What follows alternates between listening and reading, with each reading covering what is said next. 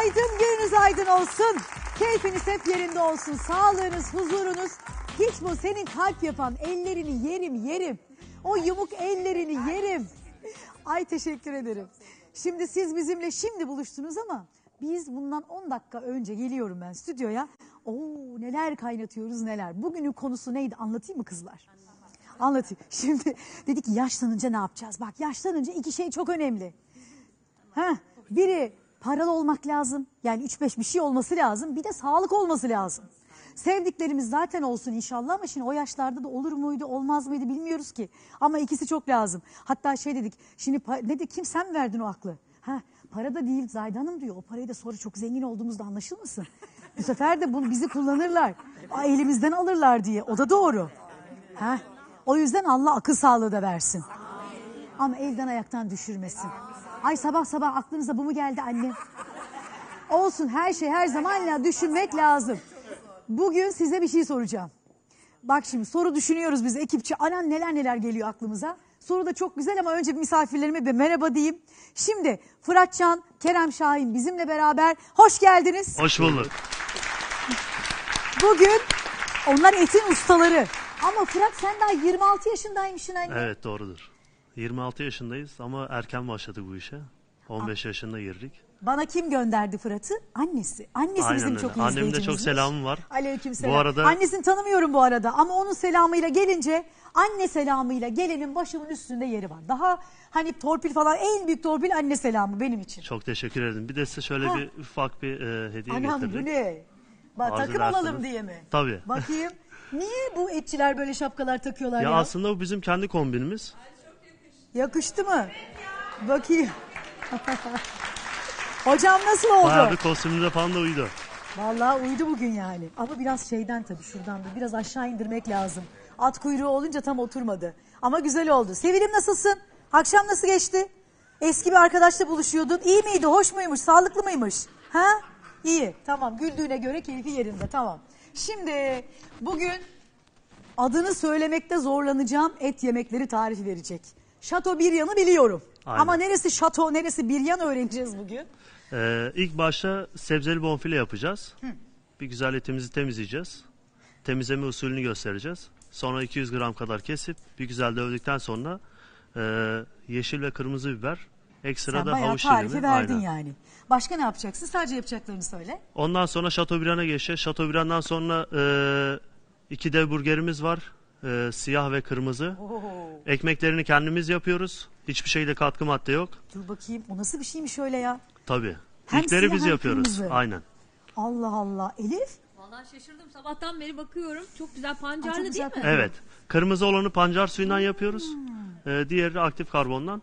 Herhangi Aktif kat- karbondan. O nasıl Aynen. oluyor Karbon ya? çok moda bu sene gerçekten. Ha, Ya sağlık bu siyah açısından siyah değil mi aynen böyle? herhangi bir sıkıntısı yok.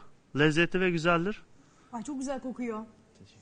Sağlıkla Ah, bu ilgili da. bir sıkıntısı yoktur. Yok yok hiçbir sıkıntısı yok. Yoksa nasıl yedirecekler? Değil mi? Tabii. Aynen. Anam bunu Zaten kaç ilk kişi yiyor? başta Bunu altı, kendimiz yedi yiyoruz kişi sonra yiyordur. gelen misafirlerimize ikram Hani nereden ediyoruz. yiyorsun? Senin hiç kilon yok. Ee, Demek ki et yiyince kilo alınmıyor mu? Günde 14-15 saat aktif var çalışıyorum. Ondan dolayıdır. Ama kıyamam ya. Ne yapacaksın? Ekmek aslanın ağzında değil Tabii, midesinde aynen. artık. Ekstra- Ekstra, herkesin evine bol kazanç, Ee, bol bereket versin. Karamel soğanla özdeştiriyoruz. Buna bayılırım. Onun da içeriği soya sosu ve esmer şeker var. Fırında 14 dakika boyunca pişiriyoruz 120 derecede. Oo, bu Lezzet da katıyor. şahane. Ekstra Peki. kıymamız. Bu, bununla ne yapacaksınız? Ee, onu bir güzel yoğuracağız. Ee, çekilmiş şekilde getiririk. Ee, kalın aynalı tek seferde çekiyoruz. Bu etin en önemli özelliği yağ oranını dengeli yani yapmamız lazım. Bu yağ köftelik, oranı aynen. köftelik dediğimiz Dev kıyma bu. hamburger yapacaksın. Dev hamburgerin kıyması. Kocaman dev bir hamburger yapacak. Oo, bununla var ya bütün stüdyo doya, doyması lazım yani. Baksana maşallah. Bundan kaç tane yemek çıkartırım ben. Benim telefonum nerede? Burada hayatım. Soracağım soru da bununla ilgili. Sen ne yapacaksın annem? Ben ev yapımı çok nefis sürmelik çikolata yapacağım. Allah'ım sana geliyorum. Peki o bizim böyle sevdiğimiz Şunu bir çikolatalara benziyor. koklasana. Ona o kokuya benzemiyor mu? Fındık kokuyor. Evet fındık. Ay. Çok güzel şunda bayılırım. kokuyor. Böyle fındık e- fındık ezmesi, çikolatalı fındık ezmesi sürülebilen ev yapımı katkı maddesiz çocuklarınıza gönül rahatlığıyla böyle sürün sürün yedirin bence. Sürün sürün. ne diyeyim yani? En azından dışarıdan alacağınızı Evet. evde kendiniz yapın. Bilin görün yani içinde ne Aynen. olduğunu. Aynen. Şimdi bak bu Onur sevgili Onur Ustaoğlu. İlk Instagram açtım size video çekmek için. İlk onu gördüm. Şu Onur'u bir göstereyim size ya. Şimdi böyle görmek benim için çok önemli de onu o yüzden gösteriyorum. Ee, Onur tanıdığım en akıllı insanlardan birisi. Tekerlekli sandalyede Çeksene. ama hayat o kadar dolu dolu yaşıyor ki bir de onu böyle görünce böyle spor yaparken vallahi çok hoşuma gitti. Allah yardımcısı Beğendim olsun. zaten. Yorulmak yok diye de yazmış. Allah yormasın. Şimdi ha dur sorumuzu soracaktım ben niye hatırlatmıyorsun? Tamam. Soru çok güzel. Oradan sana e- mı sorayım? etlerle etlerle başlayacaksın. Gözüm sizde olacak. O Ben- zaman- gerçekten şu anda ben de gelmek istiyorum oraya. E, gel. Vallahi Gel geleyim. sana da şapka takalım hatta. En bugün sevdiğim şeydir. çekeyim. Yok ya bu soruya uymuyor. Sen bana anlat kuzum şimdi. Tamam. Bu Şimdi- etin hayvanın neresi? Aynen. Dana bonfile. Bonfile iç tarafta oluyor. Yani kaburganın iç tarafında oluyor. Gizlenmiş bir et gibi. Hiç kıpırdamadığı Ee, için hiç bu et o yüzden Aynen, bu çok kadar yumuşak yumuşak. oluyor, aynen. O yüzden bu kadar pahalı. Ya melhem gibi. Hiçbir sıkıntısı yok. Sadece ufak bir ızgarada gösterdiğiniz zaman zaten lezzeti inanılmaz. Peki niye biz eti mühürlüyoruz? Eti hani niye hep böyle mühürlüyoruz? kızgın ateşe koyuyoruz ya içindeki lezzeti gitmesin. Hem ızgaranın lezzetini alması hem de e, suyunu lezzetin içinde bırakması. Ha suyu gider Aynen. tekrar toparlarsa o lezzeti olmuyor Tabii. mu? Ha. Mühürle, e, mühürü güzel bir şekilde yaptığımız zaman hem et lezzetli oluyor hem de suyunu bırakmamış oluyor. E, yediğimiz zaman daha lezzetli, daha güzel oluyor. Peki hadi sen başla o zaman ben de sorumuzu sorayım. Baş- hazır mıyız? Hazırız hazırız. Biz hazırız. Soru sormaya hazırız. Günü yaşamaya hazırız. Şöyle stüdyomuzda Evet, göstereyim size. bonfile. Şimdi soru şöyle. Kim için şu dünyada kim için en çok emek verdiniz? Hani saçımı süpürge ettim de yaranamadım dediğiniz var mı? Varsa kim? Ne yaptınız onun için? Neler yaptınız da bir türlü ondan hayır göremediniz? İnşallah o evlat değildir en önemlisi o. Onu zaten tahmin ediyorum da. İşte haladır, görümcedir, kaynanadır, kayınpederdir. Ben saçımı süpürge ettim. Neler neler yaptım. Çok özendim. Ama hayrını hiç göremedim. Hadi yazın bana dertleşelim biraz. Hoş geldiniz tekrar. Göreceğiz inşallah hayrını oğlumun. Çok emek veriyorum. İnşallah sonra göreceğiz. Ne oldu atladı geldi bir anda böyle arkama.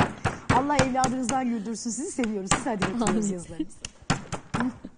Şu Ama anda önemli ya insan evladından da iyi görmek istiyor. Etimizi şu şekilde 200 gram şeklinde kestik ve bir güzel dövdük. Niye dövüyorsunuz? Dövmemizdeki o vurmanın sebep- ne anlamı var? Ee, şimdi bunu özel bir spesiyel yaptığımız için e, birbirini yemesi için ve pişme e, derecesini daha böyle düşük ayarda hızlı bir şekilde ayar- ayarlıyoruz. Çünkü et kalın olursa pişmesi daha uzun oluyor. Bu şekilde hem daha güzel bir sarma işlemi yapacağız hem de Hadi fırında yapalım. daha kısa bir şekilde pişmiş Hadi olacak. yapalım. Baksanıza bu da fileye girmiş et. Tabii onları biz Aa, kendimiz etin özel bir şekilde e, düğüm yapıyoruz. Yani hazır Baksana değil. şimdi Bu da normal. Bu da maşallah. Bu şey köy doyuran, doyuran sucuk olması lazım bunun adının. Sucuğumuz da özel, kendi yapımız. Hiçbir şey hazır değil. Biz de sucuğu yapıyoruz kendi kendimize. Ama sucukta herhalde en önemli şey et. et Aynen seçimi. öyle. Et çok önemli. Eti de bizzat biz kendimiz yani ben kendim gidiyorum. Seçiyorum. Görmediğim eti kesinlikle almam. Ha, başka türlü olmuyor tabii. Tabii. İşin başında olacaksın. Aynen Peki öyle. şimdi sen 26 yaşındasın. Bak ustalık da yapıyorsun. Bravo. Altı kardeş misiniz? Evet doğru. Hepsi okumuş. Bizden okumamışsın. Hepsi okudu. Ee, biri mühendis, biri savcı, Oo, öğretmen. çok güzel. Aynen. Çok güzel. Hepsinde çok selamım var. Aleykümselam. Sizi çok severek takip Annecinin ediyoruz. ellerinden öpüyorum. Bak ne güzel. Evlatların razı olsun. hepsini okutmuş, büyütmüş. Bravo. Sen en küçük müsün? Yok ben ikinci sıradayım. Ha daha var daha.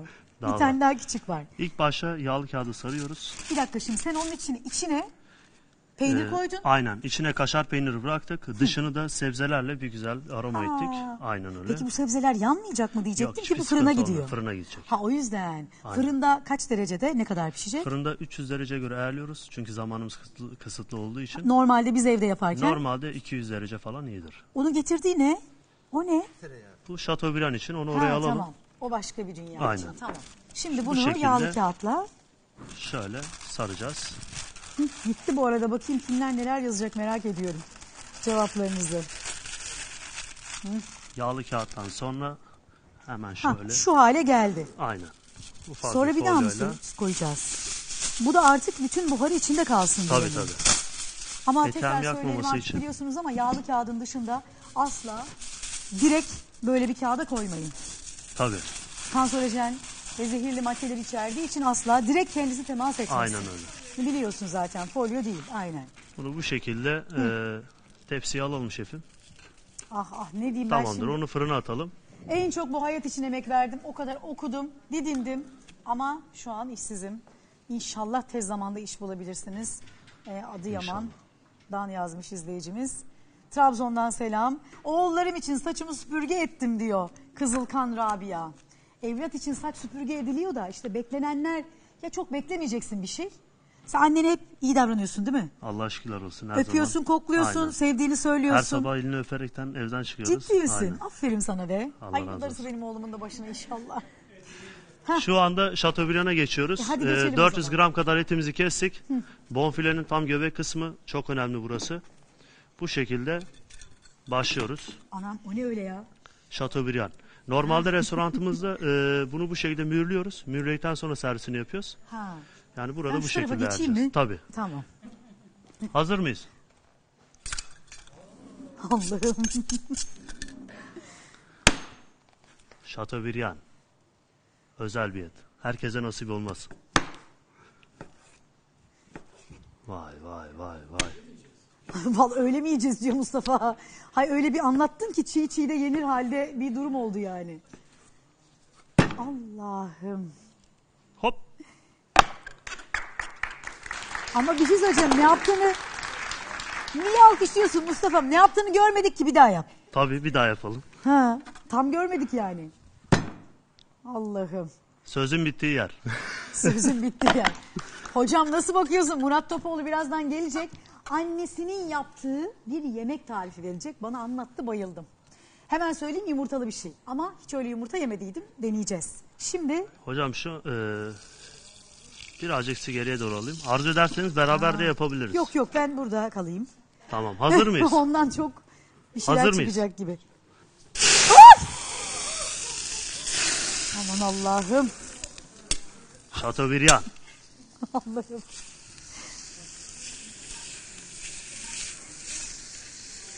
Artık bu son dönemde kasaplık mesleği değişti. Tabii.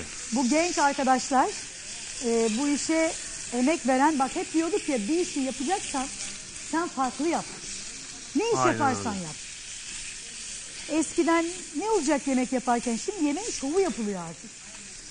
Hani tuzda balık getiriyorlar, balığı yakıp getiriyorlar tepesinde böyle ateşle geliyor. Daha havalı oluyor. Tabii bu yolsu elektrik olarak bize geri dönüyor ama o havalı hali. Mustafa ağzını kapat anne. Heh. Ama şu anda bile çok güzel bir koku yani hissediyoruz. Fark ettiniz mi? Tabii canım fark edilmez mi? Ha tuz koy, koymuyorlar bilmiyorum. Bilmiyorum. Şu Koyuyor anda musun tuz? yo şu en son koyuyoruz. Ee, tabii. Çünkü fazla aşırı bir tuz koyduğumuz zaman e, geri dönüşü olmadığı için hafiften üzerine serpiyoruz. Arzu ederseniz ilave edebiliyorsunuz. Ha. Tuz eti ne yapıyor? Sertleştiriyor. Sertleştirir ama Tabii. tabii böyle Oo. Vay vay vay vay bıldırıcın. Peki o etler pişti mi şimdi? Efendim şu anda orta pişmiş şekilde ayarlıyorum. Mesela ben eti asla Normalde mühürlediğimiz zaman e, iyi pişmiş şekilde de ayarlıyoruz. Sıkıntı olmuyor. ben etini E, tereyağı, tereyağı tereyağı Aynen. az önce sordum. tereyağı ile eti özleştiriyoruz. Daha güzel ve lezzetli oluyor. Anam bu kadar tereyağı döküyoruz. Zaten et bir de etin en güzel kısmı daha ne olsun yani. Aynen yeme de yanında yat. Onu niye öyle demişler acaba ya? Yanında yatacağın bir şey varsa ye de yat bari. Efendim yani de- ne bileyim. bizde et yemeyen kalmasın diyoruz. Ha. Kalmasın Yani- da annem bunun için başka şeyler de gerekiyor neyse. Hiç yani daha daha fazla. Bu arada kocam ve ailesinden hiç hayır görmedim diyor Neslihan. 10 senedir evliyim. 11 eyvah 11 düşük yaptım. 5 senedir karşıda annesine bakıyorum. Ama ne yaptıysam yaranamadım. Hep kötü olan benim Zahide abla. Ah anne ne diyeyim Allah kurtarsın. Şu anda hazırladık. Orta pişmiş şekilde. Üzerine hafiften tuzumuzu, kaya tuzu. Niye böyle olur ya? Bak annesine bakmış 10 sene. Nasıl olur da hürme hürmet göstermez ya? Bu çok önemli e, Zahide Hanım. Bu nedir? Dağ kekiği. Ha nasıl güzel görünüyor. Hafiften böyle bir acımsı bir tat da katıyor. Oh, ve nasıl çok da güzel lezzetli. kokuyor. Ha, nasıl koyacaksın bunu? Şu şekilde. Ha. Sadece böyle iki Tabii. silkeledin. Aynen yeterli. Üzerine ekmek. Ekmekmiş. Şuraya Bu bir yer şekilde. sofrası açın çömün. Vallahi hep beraber. Ha bir de şeyler de tabii böyle bir tabaklar. Ha bu arada bu kullandığınız tabak nasıl bir Döküm. tabak? Döküm. Döküm tabak. Şu şekilde Peki dökme demirin ne farkı var bizim Özelliği şu tavalardan? e, yani sıcaklığı koruyor. Eti pişirmemize yardımcı oluyor. ha, et böyle pişince Tabii tabii. Daha güzel oluyor. Hem de sıcak tutuyor. daha lezzetli Tabii oluyor. daha lezzetli oluyor. Çünkü diğer türlü sıkıntı yaşarız. Çabuk soğuma yapar. Problem oluyor. Neymiş, Bu şekilde ne? servise Bu hazır. dökmenin de anam bunu elinden bir düşürdü mü mutfakta mutfak tezgahına güle güle de. Tabii Bu o çok kadar ağır. bir şey. Aynen. Vallahi Yani ya da servisimiz bu bu sebebi şekilde. olabilir yani bir taraftan. Peki şu hayatta saçınızı süpürge ettiğiniz ve hiç de hayrını görmedim dediğiniz ne var dediysek yazdınız. Bakayım Mustafa'cığım neler yazılmış. Şöyle. Bakayım. Özgür Hanım demiş ki annemle amcamın çocuklarına baktık. Babaannemle bir türlü yanılamadık. Bak hem amcasının çocuklarına bakıyor. E onların amcasıyla şey neredeydi acaba? Yengeniz neredeydi ki? Yine de belki de şehir değiştirdiler orada baktılar. Elif Hanım da diyor ki eşime ve kaynanama gençliğimi verdim ama bir türlü yaranamadım. Fatma Hanım da anneme yaranamadım diyor kendi annesine. Hala benden utanıyor çünkü engelliyim ne kadar ne kadar fena bir şey ya.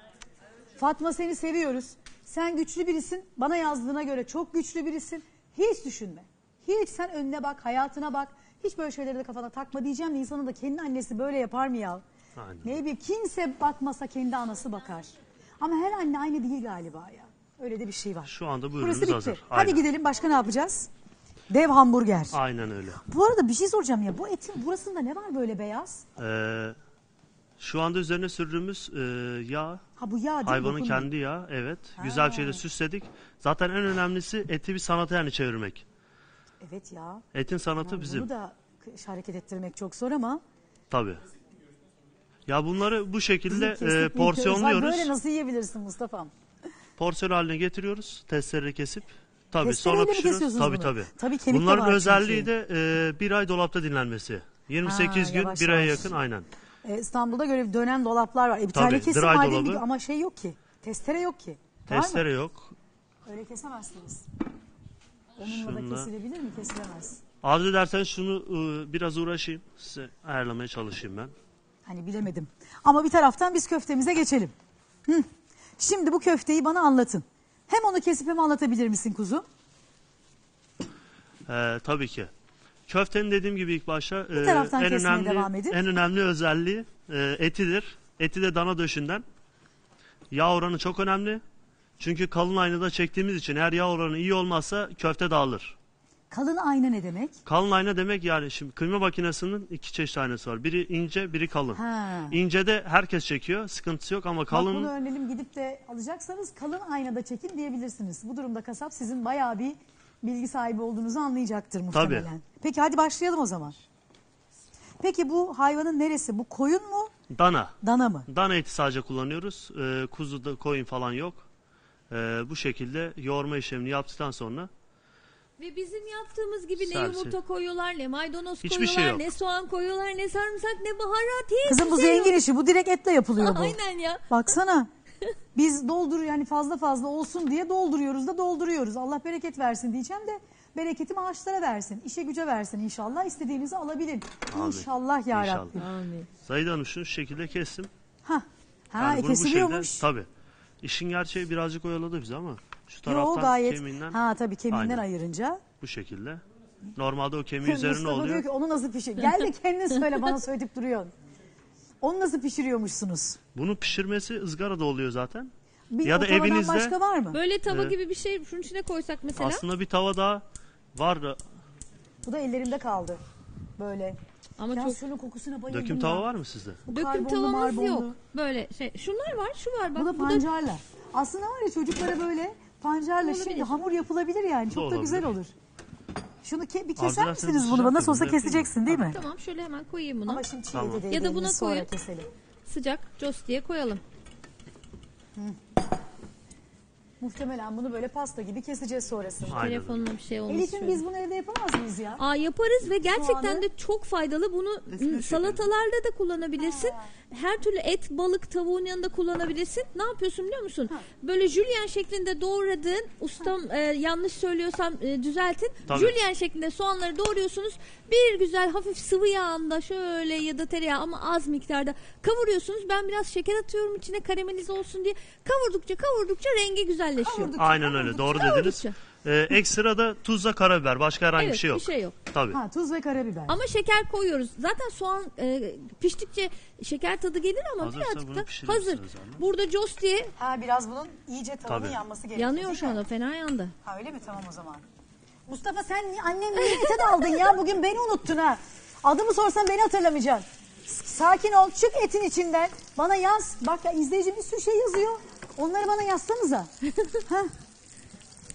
Kimler için saçınızı süpürge ettiniz de neler oldu? Kime süpürge olduysa Tamamdır, bu kıymet yeterli. bilmedi diyor Hilal. Bunu biraz daha yoğursaydın. Çok az daha yoğur hemen hızlı bir şekilde. Çoğu, ha yok kaynanam için saçımı süpürge ettim ama hiçbir şey yok diyor Sevda. Mekanı cennet olsun, gül yüzlüydü canım anneme. Sen sana böyle dedirtiyorsa annen zaten helal olsun. Bir de anneye yapmayacaksın, kime yapacaksın? Canım sen. Hayırlı eşse ese yapacaksın. Hayırlı evlatsa evlada. Ama evlat hayırsız olsa da yapıyorlar ya. Yani annelik öyle bir şey bizim bildiğimiz gördüğümüz. Ama benim oğlum ne diyor biliyor musun? Ne diyor? Şimdi çok Telefonlar para harcıyorum ya ona okulu şusu busu bilmem ne. Olsun diyor ben ileride çalışır bunları sana öderim diyor ya. Aferin ona. Vallahi. Aferin. Aferin. Canım oğlum Eren'im. Seviyorum seni. Zaten Elif'e Eren de Elif erisin. Ay. evet. İşte evet karşılıksız tek sevgi anne sevgisi. Sağlıklı olsun mutlu olsun da. Aynen. Onu ben anlamazdım. Size söyledim ya sabah. Söyleyeyim mi acaba size de ya? Aman söyleyeyim. Şefim Ya ben hayatta böyle bir şey yapacağım ben aklıma gelmez dedi. Böyle biri deseydi bu herhalde acaba yani nasıl olabilir ki böyle bir şey derdim. Bazen altın değil, bazen değil. Şu Altın değiştiriyorum yatak odamda. Yatırıyorum onu yatağa. Öpme koklaya böyle. Sonra bezini gidip atmıyorum ya. Onun yani o kokusu bile hoşuma gidiyor. Yani Şaka büyü yapıyorsun. yapmamış o. Vallahi billahi. Vallahi ben inanamıyorum ya. O böyle bir tatlı tatlı geliyor kokusu. Hoşuma gidiyor ya. Millet şöyle götürür falan götürür. Şey değil ama ya hani bir şey bir öbürü Ha, değil. normal. Fuçuk. Fuçuk. ama ben yani ya sonradan oldu diye mi böyle oldu ya da böyle yapan anneler var mı? Ay, yerim onu. Vardır ya vardır. Valla bu enteresan bir şeymiş. Ha sonra elin kızı gelsin alsın. Hiç. Çocuğuma kötü davransın. Vallahi Saçını başını yolarım onun. Yolarım. ama bak bir şey söyleyeceğim ben böyle diyorum da bak yarın da kayınvalidem geliyor. Kayınvalidem giller geliyor. Ne Ama yemek senin yapsam gibi, kız? Senin gibi gelini bulmuş. Ay şükür şükür. Yani, onun şükür. için. O da her zaman güler yüzlü ama. Her zaman. Yani aslında bir tane şey daha böyle bir aksi maksi gibi duruyor falan böyle bir görüntüsü çok ciddi annemin. Ama yok. Çok içten, çok candan Allah bozmasın. Ay neyse. Dünkü yaptığımız karnabahar köftesini yap. Ha. Kayınvalidene. Ya böyle güzel bir şeyler yapayım diyorum. Karnabahar köftesi olur da Hmm. kadıncağız diyet mi yapıyor? Ay bu arada et çok güzel oldu. Şefim ben elledim ama ne diyorsun? Sıkıntı yok. Çok güzel. Her iki tarafı çok mu pişti? İyi Şimdi mi buna pişti? tuz atmadık değil mi biz? Şu ana kadar Ee, atmadık. şu ana kadar atmadık. Biraz sonra üzerine hafiften Bakayım Mustafa yaşıyor mu? Ha. Birazcık daha pişebilir. deyince Çok ama- az daha çünkü içi kırmızıdır. Biraz daha pişmesinde daha iyi olur. Şu anda burgerin bir tanesini hazırladık. Ha bu böyle mi hazırlıyorsunuz? Tabii. O sadece et ve baharat var Sadece içinde. et ve baharat. Bir gösterir misiniz onu bana? Ha. Oo. Peki bunun dinlenmesi gerekiyor mu? Ya bunun ne dinlenmesi bir gün önceden eğer çekerseniz daha iyi olur. Daha da güzel olur. Tabii. Bizim için daha güzel Biz olur. de mesela dün çektik. Dinlendirdik dolapta. Ha, Şu bugün anda hazır aynen, oldu bugün şimdi. hazır olmuş oluyor. Peki. Daha iyi olur. Köfte ürünleri bir gün önceden yaparsanız daha iyi. Peki. Dinlenmesi açısından. Bir şey söyleyeceğim. Ya son dönemde bir tartışma var. Bu gençler evlenmiyorlar diye. 26 yaşında bir genç olarak katılıyor musun? Evleniyorlar mı, evlenmiyorlar mı? Niye evlenmiyorlar? Vallahi ben de evdeydim ama Daha e, 26'sın sen canım. katılmıyorum ben. Evlenen vardır ya. Vardır. Vardır. Yani evleniyorlar. Evlenmeyen niye evlenmiyordur? Bir şey söyleyemem şimdi. Yanlış bir yorum yapmayın. Peki hadi bakalım. Of çok güzel oldu ya. Ürünümüz çok güzel. Etleri de bizzat kendim seçtiğim için e, en önemli şey içindeki damarları. Şöyle görüyor musunuz Ayda Hanım? Ha işte O o, etler yağ. aynen, o Aslında lezzeti bizim veriyor. Hiç yağ yok dediğimiz ette bile aslında yağ var. Tabii. Yağsız dediğinizin içinde bile damarları var sonuçta. Ama sağlıklı olan yağlı et diye biliyorum ben. Bilmiyorum tabii de. Yağsız et biraz böyle saman gibi oluyor tabiri caizse. Ha. Yani lezzeti fazla alamazsınız. Kıymada dahil her şeyde. Doğru doğru. Peki koyun eti niye kokuyor? Koyun eti şimdi şöyle e, hayvan biraz cinsinden dolayı da oluyor. Yani Hmm. işin gerçi mesela Balıkesir kuzuları falan da koku yok ama İç Anadolu tarafında Allah Allah. Vallahi tabii. Balıkesirliler bak yağar buraya şimdi. Niye ben Balıkesir'de de yedim çok güzeldi vallahi. Yo Balıkesir'de Ama koku belki falan de- olmuyor ama Ha, iç olmuyor. olmuyor. Balıkesir'de olmaz. Ha. Sadece misal Güneydoğu'da Karaman kuzularına falan koku oluyor. Antep Karaman kuzularına Ha. Bir de hafiften dişi böyle bir erkek- Yediklerinden mi Aynen acaba? dişi erkeğe göre o- değişir. Ona da göre de değişiyor. Ha, bizde erkeç derler ama keçiye derler. Mesela bizde de Kütahyalıyım ben. Evet. Ee, orada da mesela keçi eti çok ye- yenir. Hmm. Ben hala alışamadım ama keçi eti yenir. Keçi ette koku da var zaten biliyorsunuz. Biraz biraz evet orada da biraz farklı bir koku oluyor. Alışkın olana hiç kokmuyor canım gayet. Olsa da yesek modundayız. ha, Ya işte o koku olayı hadi biraz şuna koyalım ızgaradan da. yana sıkıntı oluyor. Hemen bırakıyorum. Şunu açalım şefim. ah, ondan da dumanlar misin? çıkıyor. Şu İlk ekmeğin başta de tarifini verseydiniz bize ya asıl. Şu kırmızı ekmeğin. Bir diğer bu karbon marbon biz bulamayız belki ama pancarla. Elif, ekmeğin Pancarı tarifini yapsak vermiştik. böyle. Yapalım. Zannediyorum maya, mayalı değil mi? Aynen un. Ha. Tek tek. Söyle kuzum. Un giriyor. Tuz. Maya, şeker, sıvı yağ, süt, su bırak. Süt de var. Tabii. Ha. Tabii tabii süt de var. En son bunu yoğurduktan sonra mayalandırıyoruz. Kesilmedim. Ay ay ay. Kesebildim mi? Vallahi kesin, ben biraz. Ama uzaktan lezzeti kestim çok ama. güzeldir. Ha. Aa bıçağı alsaydın. Ay dur bıçağı ama tam alayım kesemedim de Tamam dur, şöyle yapacağım ben şimdi. Hazır mısınız? Ha, Vay vay vay vay vay. ekmeğe gel. Bak. İçindeki dişi de o. Anam şurayı kesememişsin annem. Şurada Dur bir bak. şeylik var. Tamam orayı çünkü e, tam çevirecektim eline gelmesin. Dikkat edin Güzel elinize. direkt. Elinizin altına Eline gelmesin. dikkat et. Kız dur elimi de kesme arada. Tane daha maşa var mı? Oo, Bak böyle. Şeydeki mesela. Şefim Maşa bir böyle tane mi daha ver bana. yapıyorsunuz? O getir onu. Bayrak kırmızısı yapmışsınız valla. O zaman ben hocamı da davet edeyim de bir ondan öğreneyim. Bir sürü tarifi var. Alkışlarla Murat Topoğlu geliyor. Ne yapalım? Ay dur dur. dur. Hah. Merhabalar. Hocam benim nasılsınız? Sağ olun. Çok teşekkür ederim. Ay nasılsınız? öncesi bir tebrik edebilir miyim ya? Sağ Bak olun. kaç sene, dün evlilik yıl dönümleriydi. Dünya güzel evlatlarıyla, dünya tatlısı eşiyle bir ömür diliyorum Çok size. teşekkür ederim Kaç sene oldu hocam ya? 9 seneye geçtik. Maşallah, maşallah. Vallahi çok teşekkür Maşallah. ederim. Çok sağ olun. Ee, Kemal iyi mi? Önce onu soruyorum ben. Kemal'im iyi Allah'a çok şükür. Bebito, büyüttünüz vallahi siz Yedi de. buçuk ay oldu. Maşallah maşallah. Her şey güzel gidiyor. İngilizce konuşuyor bebek, bebekle şimdiden. Çocuk da cevap veriyor iyi mi? Vallahi. Yavaş yavaş verecek. Vallahi hocam peki hadi Ya, buyurun burada böyle. Bir şey gördüm ben. Ne gördünüz? Ee, merhabalar nasılsınız? Sağ olasınız. Teşekkür ederim. Şeref verdim. Şimdi Beyaz'ın bir tane e, eskiden bir program vardı. Hüsrev Ağa diye böyle biliyorsunuz. Ha kocaman bir şey. Var ya şatonun arıyor, tane- e, altındakini ver Şöyle bir şey alırdı elinde yemeye çalışırdı. O geldi aklıma. Yani e, ben de biliyorsunuz yeşil yumurta yapmıştım bir zamanlar. Ha, aynen, çok güzeldi. Kırmızı omlet yapmıştım. Bu da kırmızı ekmek ve siyah ekmek. Tabii bunlar e, sebzelerle. Hoşluk sebze aslında. Gayet de güzel. Sonuçta bir gıda boyası yok içinde. E, benim bildiğim Pancar kadarıyla. var. Tamam işte pancar. Pancar, Pancar. bitki değil mi? Tabii yani canım. sebze değil mi? Pancar en Pancarla sağlıklı. renk oluyor mu gerçekten ya? Olur. Olur. Ne yaptıktan sonra? Açıyoruz onu. Haşlıyorsunuz Aynen. Suyundan. Suyundan. Çok çok da güzel olmuş. Zaten Ve tam antioksidan ekmeği olmuştu. Değil mi? Antioksidanlı ekmek yani. Ay dur şurası Pancarın değmesin iyi şöyle. gelmediği hiçbir şey yok biliyorsunuz. Ekmeklerimiz Ya. günlük ve taze yapılmakta. Galatasaray gibi oldu ama. Ha valla. ne yapayım bir tane de lacivert sarı lacivert Üzerine bir de şey karamel koyayım. sos dökelim hocam. Ha şimdiden koyalım Evet. mesela bunu da. Ha. Hocam bugün Soğan mı? çok önemli tariflerle Karamel geldi. diyorum ya. Önce kilo almanı, kilo- zayıf insanlar için böyle bir tarif veriyorum. Eğer zayıfsanız günde bir öğünde bu kadar yemek yiyebilirsiniz. Ama onlar da yemiyorlar ya. İşte sorun orada. Bize versen lök lök yutarız. E biz kilo alıyoruz. Onlar Ama- da yemek istemiyorlar. Ama olay ne biliyor musunuz? Bazen stres insana ki- kilo aldırıyor. Yani stresten dolayı gidip buzdolabından fazla yemek yiyoruz. Bazı insanlar stres olduğu zaman yemekten içmekten kesiliyor. Yani bu stres çok iki taraflı etki edebilen bir şey. Kimisi de çok yemek İşte yemiyor, kafamıza bir şeyleri kimisi takıyoruz. Rahatlamak, mutlu olmak için o sırada en kolay gidip şey buzdolabını çikolata açıp, oluyor. buzdolabını açıp yiyoruz. Ha işte o çikolata yiyenler için Elif bize evde yapabileceğimiz bir çikolata Evet. yapacak. Harika o işte. En Size- azından kendi kendimize yapalım yani. Aynen. Ha. Onu ters çevirelim. Tamam. Şöyle mi koyuyoruz? Tabii. Şefim size emanet edeyim bunu. Nasıl sunacaksanız. Ya Sunumunu bir şey bir dakika söyleyeceğim. onu keseceğiz Bayağı. özel. Hocam Heh. şimdi şöyle yeni mantarlar Şöyle çıkmış. dursun. Yeni mantarlar değil de gerçi. Şöyle şöyle elim gibi elim gibi. Ne Büyük, mantarı büyük. o? Büyük büyük mantarlar. Geçen pazardan aldım. Midye mantarları diye. İstiridye mantarı. Tamam, büyük büyük evet. Geçen pazardan aldım. Oradaki abiye sordum. Abi dedi ki sadece de bunu kızartıyoruz dedi. Fakat ben başka yerde yemiştim. Aynı et kokuyor. Et Aynen. etten daha lezzetli mantar. Aynen, Bir aynen. deneyin. Bak o mantarlardan aldım. Güzelce kestim. Bir sudan Onu güzel bir kesimini iyice yapacağım sıktım. şimdi size. Aynen. Yapsak ya burada ya. Neyi ben niye tarif ediyorum? Yapalım burada sonra. Yapalım. Mantarımız yok Hem de şimdi. mantar gerçekten diyet yemeklerinde en çok kullandığımız e, sebzelerden Ama bir sonra tanesidir. kızarttım.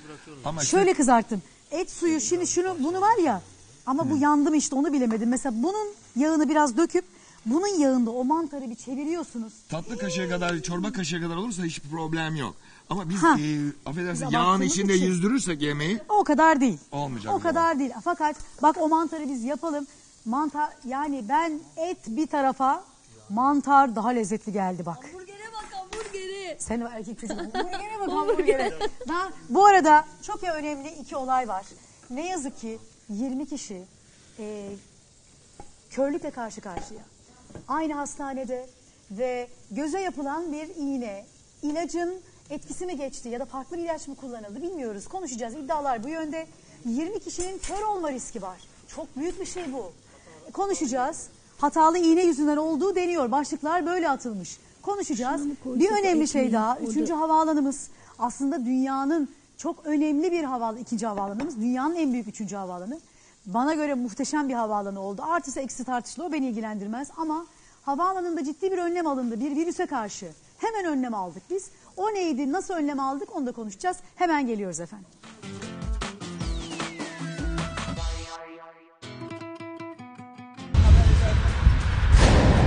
Hava sıcaklığı ne olursa olsun onları etkilemiyor. Onlar 365 gün karda kışta denize giriyorlar. Dünyada da çok tartışılıyor. Soğuk suyun uzun yaşama etkisi var mı? Çılgın adamlar İstanbul Boğazı'nda canlı yayında denize girecek.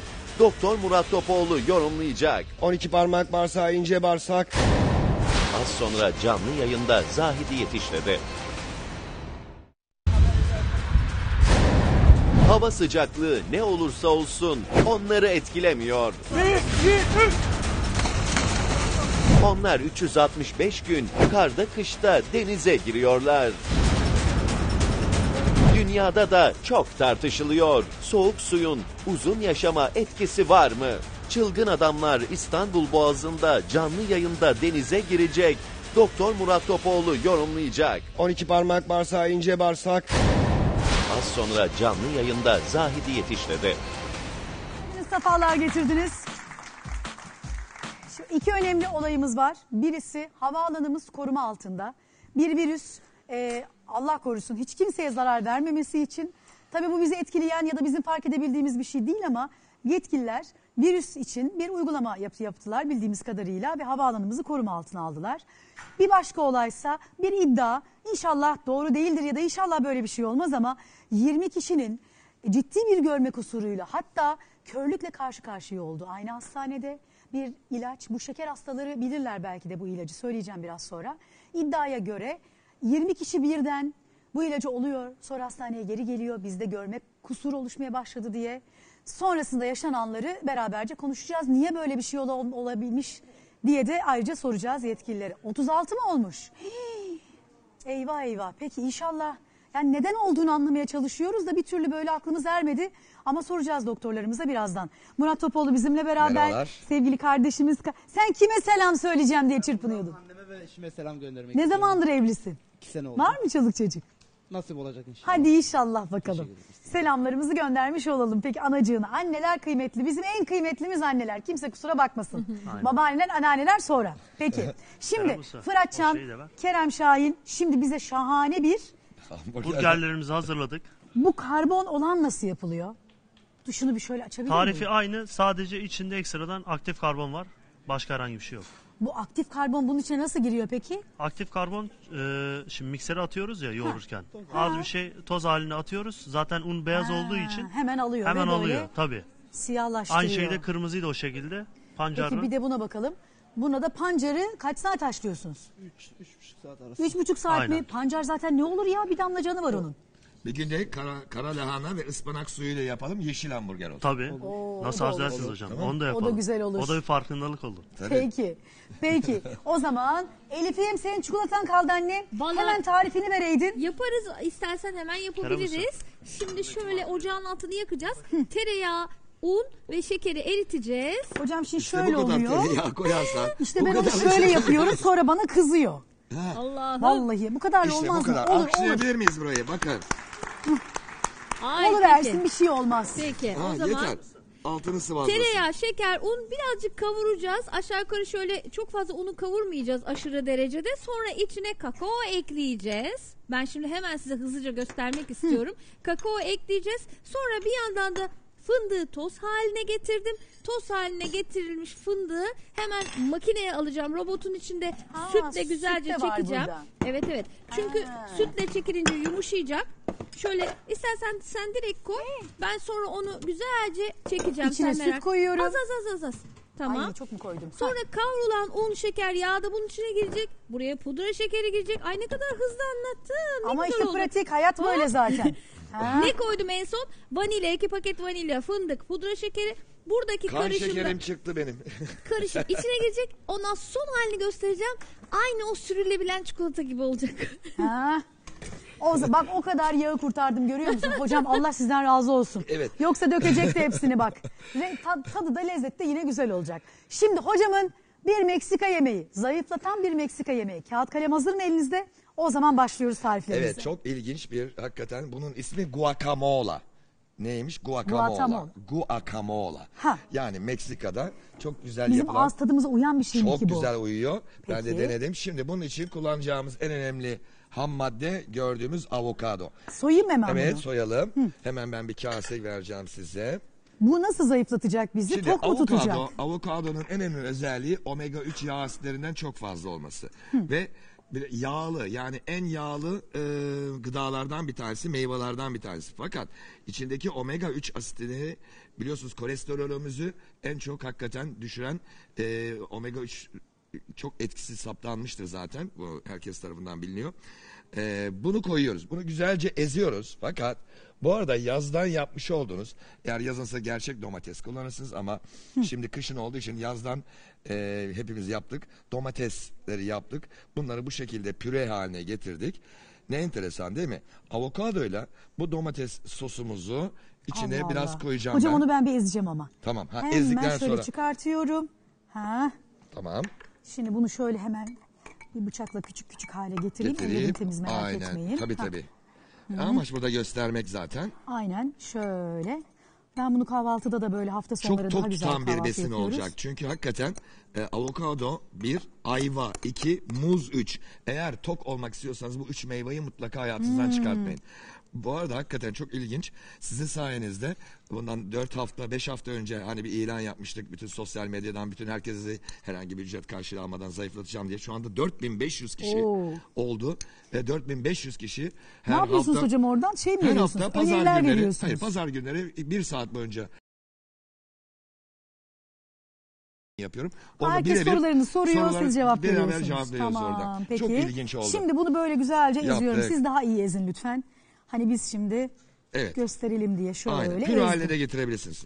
Hah. Püre haline gittikten sonra istediğiniz ölçüden nasıl seviyorsanız şu domates sosumuzu koyalım. Bunda daha rahat ezilir. Ah işte bunu kışından koyanlar şimdi bu karınca şey hikayesi gibi. Evet. Aynen. Bunu böyle yine Yazdan- karıştırıyoruz. Şimdi yaz domatesinin kıymetini o kadar iyi anlıyorum ki. Açıyorum. Biz bunları ben de kayınvalidemden öğrendim. Ee, soda şişelerine yapıyoruz. Soda şişesine. Çok da güzel oluyor. Hmm. Hakikaten Bir- güzel. Aynen. Bir, bir tane işte alet de var. Onu böyle soda şişesini kapak olarak da kapatabiliyor. O Süper da basit oluyor. bir şey. Ondan sonra bir açıyorum onu bir güzel domates kokuyor. Ya. Vallahi yani Nasıl şimdiden. Aynen. Şimdi bunun üzerine mutlaka maydanozları küçük küçük böyle ay, yap, e, kıydık. Kıydıktan sonra maydanozlarımızı koyalım. Sapları var diye çok şey yapmadım Olsun aslında. sapları olsun. Sapını Ha. mutlaka yiyin. Hani sapını çöpünü yeriz diyoruz ya. Üzümün Yani sapı. neden? Ha. Çünkü lif daha fazla. Lif demek bağırsakların çalışması demek. Lif demek tokluk demek. Yani bütün sebzelerde olan şey de lif. yarısı emilen yarısı emilmeyen cinsleri var biliyorsunuz. Bunun üzerine çok güzel bir şey daha koyacağız. Soğan ama soğanı da ben şurada Aa, isterseniz hemen küçük küçük keseyim hemen. misiniz? Çok az Ben miktarda. yapayım yap- istiyorsanız. Vallahi Ben tamamdır. yapayım hocam ya siz içerinizi şey yapmayın. Birimiz hepimiz hepimiz birimiz için. Onun için eşler de mutlaka e, evde e, eşlerine Yardım yardımcı olmalı. edecekler yani. Erkek yapıyorsa kadın, kadın yapıyorsa erkek yardımcı olmalı. Küçük küçük bunları kesiyoruz. Oo, olayı sen bitirmişsin. Evet hocam. Evelallah. Vallahi billahi. Allah rahmet eylesin. Bu da babaannemin eli. Ne güzel. Küçükken çocuğa bir şey yaptırmazsan o çocuk bir şey öğrenemiyor. Ya Ben babaanneme yardım ederdim. Cem Bey anneme çok yardım şanslısın ederdim. Cem Bey. Bir de ona sormak lazım tabii ama Ben inşallah sonra öyle so- düşünüyorum. sorarım ona. Herhalde o da Şöyle küçücük küçücük. O kadar yeterli. Bakın o kadar doyurucu olacak ki ve yemiş olduğunuz nedir? Bakın sebze, lif ve lezzeti inanılmaz. Soğan da çok güzel bir tadı veriyor buna. Bu pişirmelik bir şey değil. Bu şekilde yeniliyor. Şöyle Yapalım. soğanı getiriyorum. Tamam şöyle yapalım. Pakizem görür şimdi bizi. Ne kadar da küçük küçük yapmışım. Gördün mü? İşte olay bu. Ha, Bunun ismi guacamole. Bir Meksika yemeği. Ne kullandık? Avokado güzelce ezdik. Yazdan yapmış olduğumuz domates sosunu koyduk. Maydanoz koyduk ve soğan koyduk. tabii bu arada Bunu da karıştırıyoruz. gözler mözler gitti. İşte. Onun için Şimdi makyaj akınca nasıl olunuyor onu göreceksiniz biraz sonra. onun için e, erkekler hanımların değerlerini iyi bilsinler. Vallahi öyle. Hem ağlıyorlar hem yemek yapıyorlar. Ee, yapacak bir şey yok. Evet. Ba- Bugün onu sordum hocam. Saçımı süpürge ettiğiniz kim var ama hayır göremediğiniz diye. En acısı bana evlat geliyor. Ama işte büyüklere bakıp da oradan da sıkıntı yaşayan çok olmuş. Daha yazan varsa yazsanıza bana ben bir okuyayım. İstiyorsa tansiyonunuz yok, e, yüksek değilse azıcık da tuz da atabilirsiniz. Hiç yağ kullanmadık. Gerek yok. Sarımsak da kullanabilirsiniz. Aa sarımsak da olabilirmiş. Hani orijinalinde sarımsak yok ama biz Türk iş usulü guacamole yaparken ben sarımsağı her zaman severim. Sarımsak da koyarsak çok lezzetli oluyor. Ha gerçi bunda soğan var. Tadalım Şimdi mı tadacağım biraz? ama hocam soğan var ya ne yapacağım? Olsun. Hiçbir şey olmaz. Öyle mi diyorsunuz? Özgürlük. Bilim için. Ha sonra maydanoz yesem? Neyse şu O hiçbir şey kadardan bir olmaz. şey olmaz herhalde yani. Bence de. Hmm, tuz yok. İşte tuz da atmamız lazım. Tuz yok. Ama onun dışında çok güzel. Bir şey söyleyeyim bunu kahvaltıda yapsanıza ya. İşte Hafta aynen. sonu kahvaltısında- Sabah kahvaltı. Öğün yemeği zaten bu. Gerçekten öyle. Ya da hocam bunlar ne olur biliyor musun? Salata sosu. Bunu alacaksın, blenderda çevireceksin. Bir de ceviz koy üstüne. Yalnız a- adamcağızın zayıflamak için olan sosu ne hale getirdik ya Rabbim ya. tuz geldi vallahi. Hem de bak ben doktor olduğum için ameliyat tüpleriyle gelmiştim. Aynen. Evet. Şimdi, Sağlık programı olunca. Evet. Vallahi şimdi şimdi çok güzel oldu. Evet. Gibi bence. Peki şimdi e, Ayşe Nineli aslında bizim bu yaş almışlarımız ama yaşlanmayanlarımızı ben çok seviyorum. Varsa böyle sizin de beldenizde ya Zayda ablacığım, Zayda hanımcığım bizim de burada bir işte Fatma ninemiz var, Ertuğrul amcamız var kimse artık. Bana bir haber verin. Ben gelip onu görmek istiyorum. Onu çekmek istiyorum. Ellerinden öpmek istiyorum. O yaşlara nasıl geliyorlar merak ediyorum. Bizim de derdimiz o değil mi zaten? Hadi o zaman Ayşe nineyi görelim. Doktor Oytun Erbaş onunla çok güzel bir sohbet yapmıştı. Sonra hocamızla döneceğiz ve bugün size bir sürprizim var. Soğuk terapi göstereceğim. Şu anda ekibimiz Boğaz'da, bayağı İstanbul Boğazı'nda canlı canlı Boğaz'a girecekler. Eyvah eyvah. Siz dua edin beraber sizi götürmüyorum bak. Ha şu anda mesela Boğaz'dan canlı canlı görüyor. Ay ne güzel güneş varmış dışarıda ya biz stüdyoda farkında değiliz. Şu anda ekip suya girmek için hazırlanıyor ama bizim için girmiyorlar. Onlar zaten suya giriyor. Kimisi avukat, kimisi mühendis, kimisi öğretmen. Ya bu köpeğimiz de girecekmiş bu arada. Hatta onlar girip çıkmışlar bile herhalde. Sonra da bizimle beraber girecekler. Kedi de izliyordum. Soğuk su terapisi diye bir şey varmış ya. Hatırlayın bu Ruslar muslar giriyor ya, çocukları bebekleri sokuyorlar ya. İşte o nasıl oluyor hocama soracağım. tamam. Oh vallahi gözüm gönlüm açıldı ya. İstanbul Boğazı'nı canlı canlı görüyorsunuz. Ee, bu ekip normalde zaten soğuk su terapisini hayatlarına geçiren bir ekip ama şu anda ısınma çalışmaları yapıyorlar. Birazdan da hepimizin gözü önünde boğaz sularına girecekler. Bakın şimdi bir, bir şey söylemek istiyorum. Burası çok önemli. Dışarısı soğuk ya. Hı hı. Şimdi soğukta acaba insan dışarı çıkmak istemiyor ama şu anda dışarısı 4 ya da 5 derece. Vücudumuz 36,5 derece. Siz bu havada dışarıda yarım saat yürürseniz normal havada bir buçuk saat yürümüş kadar kalori harcarsınız. Bakın Bak. Yarım saat. Bir dakika 1'e 3 mü yani? Aynen öyle. Neden? üç veriyor. Neden? Çünkü sizin 36,5 derecenizde dışarı çıktığınız zaman dışarıdaki 4-5 derecelik soğuğa karşı vücudunuz o sıcaklığı koruyabilmek için aşırı ısı üretmek zorunda ki o dengeyi sağlasın vücutta yoksa donar insan ölür. Doğru. Dolayısıyla ne yapmak zorunda? Isı üretmek zorunda. Isı üretmek için ne yapacak? Şekeri yakacak vücutta. Şeker bitince gidecek karaciğer diyecek ki Gel, karaciğer gel, depo, hani bana- depodaki şekerleri ver şu karaciğer yağlanmanı biraz azaltayım diyecek. Oradan şekeri çekecek Yani bitirecek. soğuk havada yürümek, Evet. spor O- yapmak. aynen. Bir yapıyorsanız onu da bitirdi. Onu da bitirdikten sonra yağlara diyecek ki kusura bakma kanda şeker kalmadı, karaciğerde şeker kalmadı. Aman Hadi aman diyecek kalmasın. yağlar parçalan bakalım ben dışarıda yürüyorum. Göbekler, bana bana enerji kalçalar. lazım. İşte yok kalçam büyüdü. Yok göbeğim büyüdü. Büyür efendim. Büyür. Yiyoruz çünkü. Non stop yiyorsunuz. Non stop. Yani Durmadan, durmadan. ne yani yazık sürekli ağzınız çalışıyor. Ya birazcık Aynen. Yani. Peki o zaman e, şu anda görüntüleri canlı görüyorsunuz. Bu arada hepsi de fit bu kardeşlerimizin yani maşallah. Birazdan da denize girdiklerini göreceksiniz. Biz onlara bugün eşlik ediyoruz. Ha, buraya da veririz sonrasında girerken görürsünüz. Ama şimdi Ayşe Nine'yi bir görelim. Nasıl oluyor da Ayşe Nine gibiler içimizde yaşıyor ve sağlıklı yaşıyorlar ya. Bizim ne farkımız var? Var ama farkımız. Bak izleyince göreceksiniz ne farkımız var buyurun. Sizin dükkanda bizim dükkanda demirden. İşte karşınızda Ya gerçek ben böyle bir yaşlı görmedim. doçent doktor Oytun Erbaş'ı şaşkına çeviren asırlık çınar Ayşe teyze. Yaş kaç? 90. 90. Çocuklar var mı? Benim 5 tane evladım Beş tane var. çocuğun var. 3 kız, Evet. ikisi oğlan. İkisi oğlan. Denizli'de mi yaşadın? Nerede yaşadın? Be- Ben oğlum köylerde yaşadım öğretmenlikte, gençlikte. Gençlikte. Peki hep böyle zayıf mıydın? Hep zayıftım. Kaç kiloydun hep? Tartıldın mı hiç e, gençken?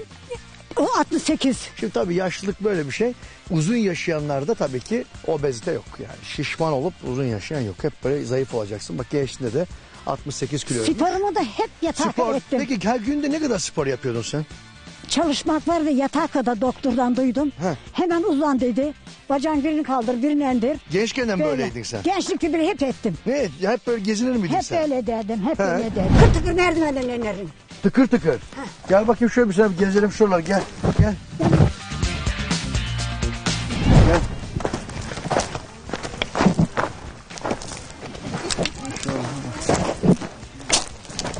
Maşallah bak. Gel.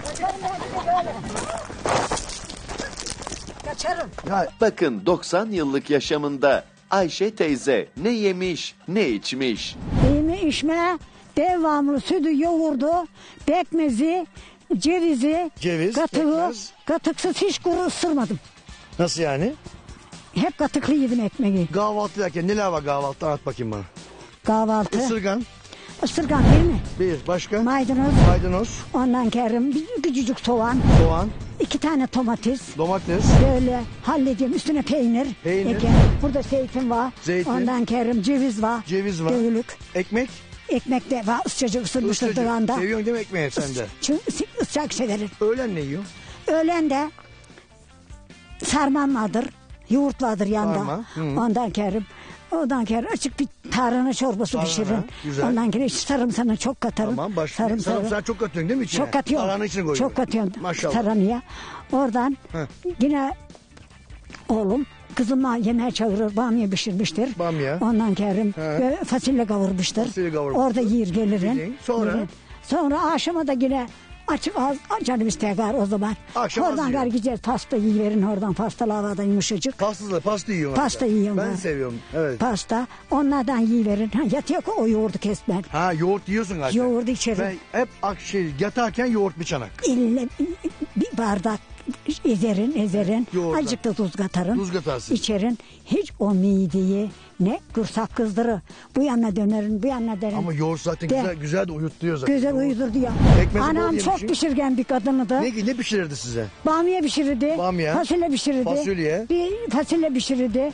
Ondan sonra dolma doldurdu. Dolmu doldururdu. Sarma doldurdu. yer miydin? Sarma çok. Yoğurdu seviyormuşsun herhalde benim gibi. Yoğurdu bir harını çalar. Hepimiz kaşıkladık Süt arkadaşlar. nasıldı aran? Süt zaten dolu. günde ne kadar içiyordun süt? Kaç? İçiyorduk içiyorduk. Ha, çok- Anam içiriyordu hepimize birer bardak. Maşallah. Sütleri. Süt var, yoğurt. Ağılda geçimiz vardı. Ne güzel. Şimdi tabii işte bu e, yapılan çalışmalarda süt yoğurt yiyen insan uzun yaşadı biliniyor zaten. E, pekmezle zaten aran iyiymiş zaten. Çok çok. Hep pekmez de- yiyordun ufakken. Buralarda gırlarda çalışırken hemen şerbet ediyorduk pekmezi. Pekmez şerbet Şerbet. içiyordun. İlerlemiş yaşına rağmen türküler söyleyen, oradan oraya koşup gençlere taş çıkartan Ayşe teyze, uzun ve sağlıklı yaşamın sırrını Oytun Erbaş'la paylaştı. Uzun yaşamı çok önemli bir şey var. Teyze diyor ki ben diyor, Sporum ettim. Yataka spor bile. yaptım diyor. Yatana kadar spor yaptım diyor. Bir de diyor türküler çağırmış öyle mi? Biliyor musun türküleri? Hep türküleri bilirim. He. Amanın yaprak gazel olmuyor durmuyor dalda. Nefessiz güzelden bize ne fayda. Bak, Bu ayda neşeli olmazsa neşeli. gelecek ayda. Ya ne güzel. Yaprak sevlinin dalları boyundan uzun. Evlatlar gözüme bir salkım üzüm. Ölmeden o yeri görürse gözüm. Koyun kuzu kurban olsun o zaman. Maşallah ne diyor teyze? Aşan bilir bu karlı dağın hayat ardını. dolu yaşamış. Buradan diyorsun. Türküleri, şarkılarda hiç koymadım. Depresyonlu insan hadi kızı yaşıyor. Böyle olacaksın ya. Böyle neşeli neşeli. Neşeli, neşeli. Neşeli, uzun yaşıyor. Bak Ha. hocam öyle- müzik öğretmeniydi. Ben zaten türküleri Koca- hep... koca mı? Hoca. Ha, hoca. Müziğe giriyordu ortaokula. De bakalım söyle gar senin ezbere şeylerini derdi. Söyledim. Zeynep'e yaptırdım altında darak. Dara zülüflerini bir yana bırak. Zeynep'e gidecek yollar be kırak. Kaldırdım. Yaşa derdi garı. Sen biliyordun şarkıları değil Ben mi? şarkıları biliyorum. Zeynep'im Zeynep'im allı Zeynep'im. Üç köyün içinde şanlı Zeynep'im. Zeynep bu güzellik var bu soyumda. Elvan elvan güller kokar boynunda. Sizin dükkende bizim dükkende demirden.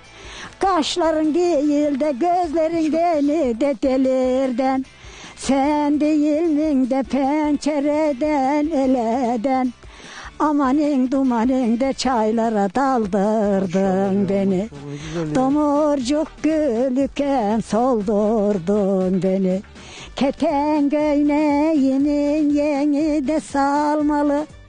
El ne derse de desin güzel olmalı. Ezbere. Abi sen harika bir yaşlısın. küçük, oğlumuz büyük. Hızlı yürüyelim bakalım gel beraber seninle. Ya teyze benden iyi ya. Sen gençliğinde böyle miydin? Hep böyle gezer miydin sen böyle? Öyleydim, hep gezerdim. Bir annem bile giderdim, uçar kuş gibi. Maşallah. Sen derlerdi, yorulmuyor mu derlerdi. Hayır. O zaman anamın evi de. Hiç yorulmazdım diyorsun. Küçük, gençken de Yorulmazdım, her yerimden yorulmazdım. geldim diyorsun. Yorulmazdım, hiç yorulmazdım. Ha. Hiç hizmete düşermedim. Ha, Hiç işlere üstlenmedim. Hep Bu işleri yaparım kurtulacak, diyorsun. Ha. bura çapalanacak. Ha, oraya çapılanacak Oradan. Hiç üşenmedim hep diyorsun. de Ha. zamanımda da türküleri, şarkıları hep çağırdım. Beni gülerlerdi. Ha seni böyle yapınca gülüyorlardı. Gülüyorlardı. Hemen hora varın, hora oturun. Hemen şurada. Ya sen bir oturduğun yerde bir otur bakalım bir. İşte harika. Harika yemin ederim harika ya. Ya gerçek ben böyle bir yaşlı görmedim. Çok neşeli. Ya ya gerçekten de e, neşeli insanlar çok yaşıyor. Hatta diyor ki bana ben diyor gençken çok neşeliydim. Öğretmen demiş ki sen demiş ölmezsin. Müzik öğretmeni demiş yani. Hani depresyona girmeyeceksin. Kilo almayacaksın. Depresyona girmeyeceksin. Aktif hayat yaşayacaksın. Sütünü, yoğurtunu yiyeceksin. Pekmezini işte, üzümünü yiyeceksin. Esasında en önemli şey ne biliyor musunuz? Hayat neşesi, hayatı yaşama enerjisi. Yani hayatı yaşamak için yaşayacaksın. Yani zevk alacaksın. Bak, diyor ki ben diyor köydekilere spor yapıyordum deli bu diyorlar diyor. Bak geliyor yine. Bak Pekmezi çok yedi. pekmez geliyor bak yine. Maşallah. Yoğurdu da hiç kesmedim. Akşam daha bir çanak yoğurdu kaşıklarına yattım yatağa. Bak yine her akşam her gün. ya- ya- yatarken diyor Geçi yoğurdu, bir çanak yoğurdu yiyorum diyor. Seçerim geçilen yoğurtların peynirlerini de. Ay ellerinden öpüyorum annemin ya. Görüyor musunuz maşallah. Şimdi Abdullah'a bağlanıyoruz. Şu anda canlı canlı İstanbul Boğazı'nı görüyorsunuz. Ve e, Ramazan Türkenoğlu, Mustafa Yenen, Yunus Tanrıverdi. Bu arada Mustafa Bey 65 yaşındaymış. Köpüşümüzün adı ne ya? Onu da önerelim. Onun da bir kimliği, kişiliği var. Ve denize girmek üzereler. Soğuk su terapisi diye bir şey varmış. Annem adamlar ne halde, sen ne haldesin Abdullah'ım ya? Vallahi yani. Evet Zahide Yetiş İstanbul Arnavutköy'deyiz. Hava az önce kontrol ettim 1 derece. Ağzından dumanlar çıkıyor soğuktan. Ben hemen üzerinde kıyafetleri göstereyim. Atlet var, gömlek var, hırkan var ve üzerinde kalın bir montum var ve ben bu halde gerçekten Hala eee, üşüyor musun? Yani donuyorum desem yeridir hakikaten. Hava buz gibi gerçekten üşüyorum ki e, yayın öncesine kadar da zaten aracın içinde bekledim. Biraz önce kafamda bere vardı onu da daha yeni çıkardım. Ama e, az önce siz de isimlerini saydınız. Ramazan, Mustafa ve Yunus Bey şu an denize girmeye hazırlar. Ay maşallah, yani maşallah. kışın ortasında Ocak ayındayız ve gerçekten hava buz gibi bakmayın havanın güneşli olduğuna. Ay bir de Su da ayaklar çok da soğuk çıplak. ama onlar birazdan denize girecekler. Evet ayakları da çıplak köpeğimizin de adını söyleyelim. Onun adı da Cesur. O da yüzüyor hep Belli, beraber. belli, Ve e, Mustafa Bey de dediğiniz gibi 65 yaşında. Ben hemen onun yanına gideyim hızlıca. Efendim üşümüyor musunuz? Yok üşümüyorum hocam. Hiç Nasıl üşümüyorsunuz. üşümüyorsunuz Yok, hiç ya? üşümüyorum. Evet şu an Ay. Yunus Bey hatta atladı gitti. denize. Anam Cesur gitti da valla. Evet Cesur da O cesurun birazdan. sahibi. Valla cesur da atlar Normalde şimdi. yani hepsinin girdiği yerler farklı. Ee, Cesur'a burası biraz belki yüksek gelmiş olabilir. Normalde daha ileriden giriyormuş. Ha. Ee, burası biraz yüksek gelmiş olabilir ama normalde çıkacaklar giriyor her oradan? zaman. Yanımızda da e, Ramazan Türkanoğlu var. Onunla da konuşacağız. Efendim e, neler söylemek istersiniz? Neler yapıyorsunuz? Devamlı Vallahi giriyor musunuz? girdi. Ramazan Türkanoğlu. 365 gün biz Boğaz'da antrenmanımızı yapıyoruz. Peki Ee, meslekleri yaz spor kış mu yüzüyoruz yani? devamlı burada. İşte arkadaşlarla beraber buluşup ya so- e, soğukta yüzüyoruz. Soğukta yaz kış yüzen bir grubuz. Siz 2019 yılında 365 gün her gün denize girmişsiniz galiba. Evet 2019 yılında Asya'dan Avrupa'ya geçtik. Ve e, Oo. evet 2019'da e, 365 gün denize girdik. Peki bu nereden e, geldi yani? Nasıl siz bir araya geldiniz? Bu ekip nasıl kuruldu? Neden böyle e, kışında denize girmek, soğuk suda yüzmek? Bunun başlama hikayesi nedir yani? Ben lisanslı yüzücüyüm. Aynı zamanda ekonomistim. Almanya'da öğrencilik yıllarımda e, tansiyon e, problemim vardı. E, aşırı depresyona dayalı. Ve o günden sonra işte e, yüzmeye ağırlık verdim ve e, yüzmeye başladım. İlaçları falan da bıraktım. E, öyle hem e, lisans olarak yüzüyoruz. Genelde yüzücü arkadaşlar devamlı bunu yapıyor. Çünkü e, sağlığa çok faydası var. Hem spor amaçlı hem sağlık amaçlı yüzüyoruz. Yani Sağlığa da çok faydası var. Spora da e, spor amaçlı da çok faydası var. Mesela kışın hastalanmıyoruz. Grip olmuyoruz. Hiç hasta olmuyorum diyor. Ya evet e, grip, nezle vesaire e, hastalık Soğuk algınlığı tarzı hastalık yaşamıyorsunuz. yok yaşamıyoruz. Ne kadar Ne için kalıyorlar peki yaşamıyor? suda? Soğuk havada suya girdiği için yaşamıyor. O da girecek şimdi. Siz de buyurun Ramazan Bey sizin de suya girmenizi görelim. Evet Yunus Bey ve Mustafa amca diyeyim artık çünkü az önce bahsettik 65, yaşında. 65. Onlar da şimdi diğer taraftan Bir de çıktılar yağ da yok vücutlarında evet, hiç. aa, Hani evet, yağ 65 korur yaşında. diyoruz bizi ya. Evet Mustafa Peki ne amca kadar bu suda arada her gün kalıyorlarmış? 10 Dur, kilometre adam gitmeden önce koşuyormuş. sorsaydın. Her gün 10 kilometre koşuyor. Suda kaç dakika kalacaklar? Günde. Evet Ramazan Bey atlasın. Evet, E, atlasın atladı. soruyu kime soracağız? Hadi Hemen bakalım. gidelim onların da yanına doğru. Kameraman arkadaşım Tamer Budak da eee, şu an denize giren Ramazan Bey'i görüntülüyor. O zaten profesyonel Maşallah. yüzücü. Efendim girdiniz çıktınız suya. Vallahi şimdi bir de Ha atlayacağız onlar geri bakalım. geldiler. Ha. Üşümüyor musunuz? Güzel hava ya su daha sıcak. Tavsiye ederiz yani herkese. Ben girebilir miyim? Bak, Alışık değilsen girme. Yani alışık değilim tabii ben yani eee, anca yazın denize girebiliyoruz ki o zaman bile üşüyoruz. Eee, ama işte Mustafa, Ramazan Bey ya. ve Yunus Bey ki ekipleri daha da geniş aslında yani eee, sadece 3 kişilik bir ekip değiller daha kalabalıklar. Normalde devamlı gelip bu antrenmanı yapıyorlar, Vallahi suya bravo. giriyorlar. Mustafa Yaz kış Bey fark yanında etmeden mı? az önce konuştuk eee, Ramazan'la. Beni duyabiliyor mu? Duyamıyor Evet şu an galiba. yanımızda. Ha, Hemen ona da bir mikrofonu Mustafa uzatalım. Bey gösterir misin Efendim, bana? Girdiniz suya. Su çok güzel. Şöyle alalım sizi. Bakayım bakayım Mustafa efendim. Bey'e Su bakayım çok 65 güzel. yaşındaymış. Ee, bir de biz e, koşudan önce, Maşallah. e, yüzmeden önce 12 kilometre koştuk. Vücut sıcak. Dolayısıyla çok güzel oluyor. Ağrılarımızı alıyor. Keyif veriyor. Çok etkisi yapıyor yani sizde değil mi biraz? Tabii Yapıyor yani mu? bu, bu e, falan rahatlatıyor. Diri tutuyor vücudu. Yani siz nasıl başladınız peki? Yani hani soğuk suya girmek pek hani insanlara mantıklı diyemez özellikle kışın ama siz nereden Ya biz ben zaten doğma bir buranın çocuğuyum. Devamlı e, denizde haşır neşirim. Do- dolayısıyla hem yaşantımız bu yani. Yani herkese tavsiye etmez. Kaç yıldır giriyorsunuz peki? Vallahi ben 65 yaşındayım. E, Maşallah. Hep yapıyorum. Herhangi bir Bildim problem bileli var mı diyorsunuz. 65 Soğukta yaşında? Suya girersiniz. Giriyoruz evet giriyoruz. Bak fıtık var mı? Herhangi bir ağrı sağlık var probleminiz var mı peki hiçbir, Zahide Hanım? hiçbir problemim yok. Hiçbir sıkıntım yok. Hanım ne diyormuş hasta peki olmuyorum böyle ben yani. suya hasta Hiç girmesine? hasta olmuyorum. Eşiniz var mı? Tabii ki eşim ne var, diyor peki? torunum var. Torunumla maraton koşuyorum ben. Maşallah. Tabii torunumla mar- maraton koşuyorum. Ceren'le birlikte antrenmanlar yapıyorum.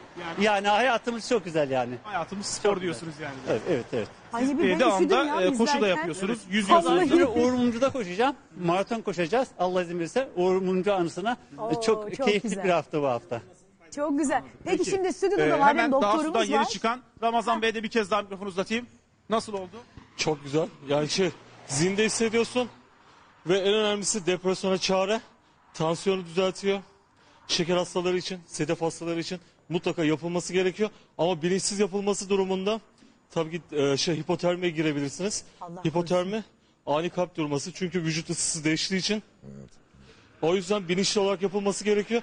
Çok faydası var. Su zaten şifa kaynağı. Biz ona inanıyoruz ve hem yüzüyoruz hem spor yapıyoruz. Yani alışmadan, bilmeden girmemek lazım. Katiyen tabii ki bilmeden girmek hipotermiye girilebilir. O yüzden e, yani alışık olmayan insanların katiyen girmelerini tavsiye etmiyoruz.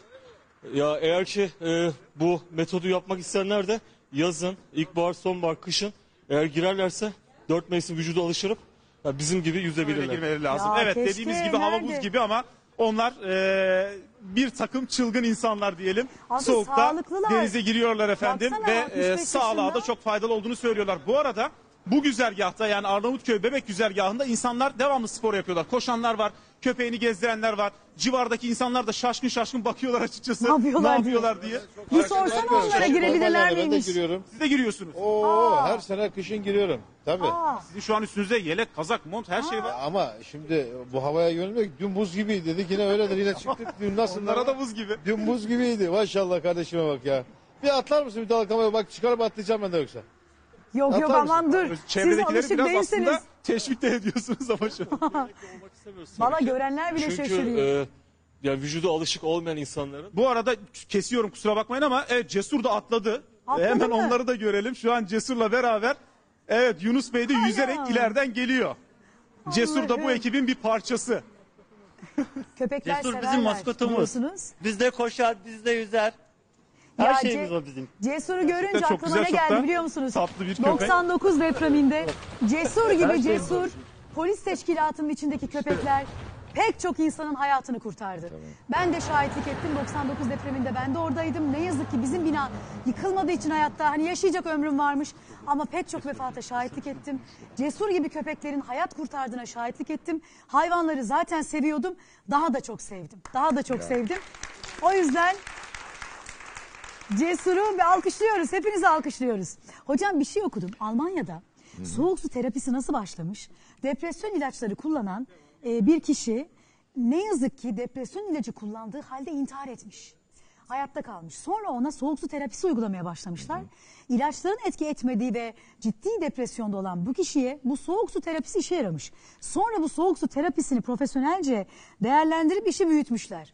Rusya'da bebekleri bile sokuyorlar. Tabii orada genetik de var herhalde. Ne diyorsunuz Şimdi hocam? tabii ki e, ülkenin genetik yapısı çok önemli. Yani şimdi biz Afrika'da ya- yaşayan bir insanı kalkıp Rusya'ya götürüp o çocuğu, o bebeği, o zenci çocuğu kalkıp korusun. buz gibi suyu içine sokarsanız o çocuk e, mahvolur ve yani çok büyük hastalıklar getirir.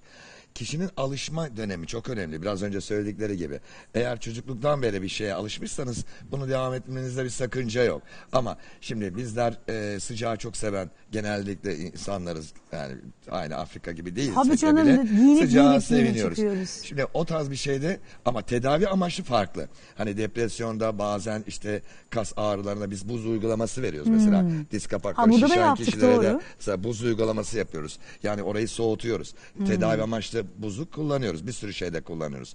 Ama siz kalkıp böyle e, ben işte daha sağlıklı olayım. Daha önce hiç girdim mi kışın denize? Hayır girmedim ama ben sağlıklı olmak için cap diye girersem Yok, zaten orada söyledi hipotermi dediğimiz yani e, vücut deri sıcaklığı çok hızlı düşer ve orada direkt kalp durması olabilir. Çünkü onlar bakın 12 kilometre yürüyüp koşup öyle geldik dediler. Yani önce bir kasları harekete geçirip Hmm. Aktive ettiler, ondan onu da gördük yaptılar. zaten az önce. Bu şeyler biraz daha çocukluk yaşlarıyla ilgili e, alışmaya bağlı olursa e, sağlıklı bulabiliriz ama öbür türlü e, zor. Ama şu anda canlı canlı İstanbul Evet. Boğazı'nı görüyorsunuz ve Boğaz'da soğuk su terapisiyle bir taraftan hem farklı işleri var. İşte kimisi mühendis, kimisi ekonomist. Tabii. Hani hayatlarına devam ediyorlar ama bir taraftan da böyle bir görüntü var. Sizinle paylaşmayı istedik. Çok teşekkür ediyoruz e, arkadaşlarımıza. Şimdi döndük buraya. Bu soğukla ilgili sorun unutturmayı size bir şey daha soracağım. Tamam. Hepimizi zayıflatabilen bir şey buldum.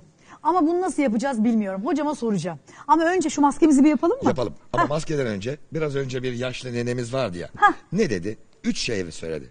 Bir, ben neşeliyim Ha. dedi.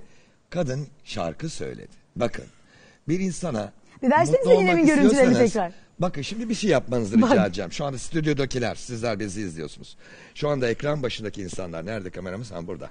Ekran başında galiba lütfen bizi izliyorsunuz. Mutlu olmak, e, uzun yaşamak istiyorsanız herkes şu anda her şeyi bırakıp yanındaki insana sarılmasını istiyorum. Sarılın. Sizler de sarılın. Ah, anam sen yalnız mı kaldın kuzum? Sarıl. Dön o tarafa da sarıl o zaman. Bakın. Elif'im. Elif'im. Annem. Ay ay ay ay. Ya. Ah sen neler. Bakın şu anda yüzümüz nasıl geliyor? Şu anda yüzümüz nasıl geliyor? Anam Mustafa'm yalnız kalmış. Anam kıyamam Ama kuzuma. sarılın. Hissederek Bak, sarılın. Türk hissederek. usulü bir dakika Türk usulü sarılma şekli. Biz normal sarılamıyoruz. Evet. Yok o da değil bak şimdi bak. Anam sen erkeksin seni yapamam gel. Heh, bak şimdi biz bak böyle yapıyoruz bak. Böyle yapıp bir de böyle. Bu yetmiyor bir daha. Bu bir de buradan. Bir de daha da seviyorsan bir de böyle böyle böyle böyle. Hala yaşıyorsa devam ediyor sonrasında konuşmaya. Ne kadar önemli biliyor Ay hocam musunuz? ne güzel oldu ya bir neşelendik Ne kadar valla. önemli, bakın. Ay Allah sizden razı olsun. Allah neşemizde hiçbir zaman. Amin. Bakın o şaşta şarkı söyledi ya. Şarkı söyledi. Ne yaptı? Yerinde duramıyor kadın. Evet. Bana deli diyorlar diyor. Bırak. Ay deli desinler 90'ında böyle olayım desinler Bir de boş şarkısı ver. var. De- Bırak deli desinler diye şarkısı bile var. Yani hareket ve gülmek, sarılmak. Bir de bir şey daha söyledi. Ben dedi Ha. sürekli dedi. Bunu Bak. yiyorum dedi. Benim Doktor Murat Topu olarak sorarsanız hastalarıma salata yoğurtçu doktor derler bana. İsmim böyle geçiyor. Salata yoğurt veriyorum çünkü. Çünkü salata sebze tok tutar. Yoğurt proteindir. Yoğurt kadar güzel bir şey var mı ya? Tabii. Allah'tan sadece bize mahsus biliyor, mu- biliyor musunuz? Genellikle Sabah akşam bulduğunuz yerde yoğurt yiyeceğiz. nasıl tok durarsınız? Ha? Bunu da bu yoğurt üzerine ayrı bir program yapacağız. Şimdi O gelelim. zaman hocam şu maskemizi bir yapalım. Maskemizi yapalım. Ha, Şimdi kırışıklığımız Mustafa var. Biraz Annem. yüzümüzün gergin olmasını istiyorsak, hafif böyle kırışıklarımızın o akşam Hemen için yapalım azalmasını hocam, hadi istiyorsanız gelin o zaman. Bir e, seyirci alalım. Ha. Dur annem sana bir sandalye getireyim Hadi sonra sandalye. seni alayım. Şimdi önce o- şunu Ya da göstermem sandalyenle lazım. gel kuşum. Ha tamam Mustafa'cığım getirdi gel bir tane. Ayten teyzem benim gel. Ha. Otur bebeğim böyle. Hocam hazırlarken ben de seni hazırlayayım. Şimdi bunun için malzemeleri tek tek söylüyorum. Hepiniz pür dikkat yazıyorsunuz. Şimdi bunun için malzemeler. Patates var. Evde çiğ patates. Çiğ patatesi rendeledik. Görüyor muyuz şuradan? Kameraman arkadaşıma göstereyim. Ha. Çiğ patatesi rendeledik. Bu patatesi rendeledikten sonra bir tülbentin içine koyduk. Sıktık. Buraya suyu çıktı. Görüyoruz. Burada Tülbente suyu. koyayım nasıl yaptığımızı da göstermiş Aynen olalım. öyle. Şöyle. Onu normalde. suyunu çıkartmıştık ama biraz daha Ay kalmışsa şöyle azıcık yapıverelim. yapalım. Şu şunun patatesi şöyle. rendeledik. Hah. Şöyle Ha bunun koyayım. çıkarttık? Tabii. Suyu kalmadı mı ki? E, Şimdi buraya aldık. sadece tamam. Aynen öyle. Göstermek çok önemli. Ha. Ben Böyle de diyecektim şuraya ki bu sıkalım. patatesi Şurada nasıl? şeyimiz Ha var. zaten Ha, var yerimiz burada. var. Dur, Öyle, ha. şöyle yapayım. Bunu iyice sıkmıştık ama biraz daha. Bakın ne Ha. kadar güzel. Bu patatesi güzelce rendeledikten sonra suyunu sıkıyorsunuz. Burada suyunu kullanıyoruz. Yalnız bu maskeyi yapmadan önce bunu sıktıktan sonra bir yarım saat 45 dakika beklemeniz gerekiyor. Aa, Neden? niye? Neden? Neden? Hemen göstereceğim. Allah Allah. Bakın. Hocam onu öyle almayın. Hemen Tamam. yavaş yavaş ben Şimdi alayım. yavaş yavaş. Bakın hafifçe suyunu buraya dökün. Ama çalkalamayın, çalkalamayın. Ay. Ha, yavaş yavaş dökün. Bakın altta ne kaldı? Ha proteini altta kal- Nişastası kalıyor, evet. Ay dökemedim bir dakika çok Bakın özür altta şöyle bembeyaz görüyor muyuz? Şöyle çıkacak şimdi bak. Yavaşça ha. Ha. Bakın altta bembeyaz görüyor muyuz? Bu nişasta. Biz bu nişastayı kullanacağız maskede. Onun için iki tane veya üç tane patatesi İyice suyunu çıkarttıktan sonra 45 dakika böyle bekletiyoruz hareketsiz. Nişastası aşağı çöküyor. Ne arıyorum? Si- Evet tahta kaşık arıyorum Kaşık bir tanem. arıyoruz. Heh, tahta kaşığı yoğurda Var. koymuşuz. Evet, koyduk. Gerçi ne olacak ki yoğurt da Dur. tertemiz zaten ya. Tamam şöyle ver. Ha verin verin hocam. Bir şey olmaz. Hah yenisi Daha geldi. geldi. Teşekkür ederim bir tanem. Şimdi onu başka bir yere alacağız. Ha tamam bunu aldım Şimdi duruyor burada. bunu şu küçük kasemizin içine Ha dur O iki üç tane nişast- patates de gelmiş. Geldi, onu ayıralım. Da şöyle ayırıyorum. esas burası önemli. Biraz daha 3-4 patates yaparsanız bu bir, bir patatesli yaptık sanıyorum. Bak bak görüyor musunuz? Ha. Tabana görüyor musunuz? Çöktü bu. Gerekim. Ya Yapıp bunu dolaba ertesi da koy- günde kullanabilirsiniz. Yani i- 48 saat e, saklayabilirsiniz Patatesi dolapta. ayırayım. Şunu döküyorum. Bu içine. beyaz işte gördüğünüz patatesin Allah Allah. e, suyu çöktükten sonra altındaki nişastayı kullanıyoruz. İkinci malzememiz protein ağırlıklı olan yumurtanın beyazını buraya çıkarttık sizin için. Bu yumurtanın beyazından da Şu kadar çıktı o kadar patatesden bak ne kadar kıymetli. tabii. Sonra bundan da yumurtanın akı. akı. Yumurtanın akını birazcık koyuyorum. Bu kadar. Çok mu Biraz gitti? fazla koy. Olsun. Geri alabilirim istiyorsanız. Azıcık birazını. alabilirseniz sevinirim. Buraya alalım. şuraya. Şu biraz akı versin şuradan Tamam, durdurayım. Anam. tamam. Hah, tamam bu Yeter. kadar. Yeter o kadar zaten. Ha. Tamam. Şimdi bunun içine çok az bir havuç suyu koyuyoruz. A vitamininden Aa, zengin. Havuç evet. suyu niye? Evet kaşığımız varsa kaşık- Hocam bununla koyayım bir şey olmaz. Ha? Bununla Tamam, koyayım bunu onun da içine koy. koyuvereyim. azıcık koyalım. Şöyle bir kaşık mı? İki kaşık koyalım. iki üç kaşık. Ha A yani vitaminden biraz. koyuyoruz.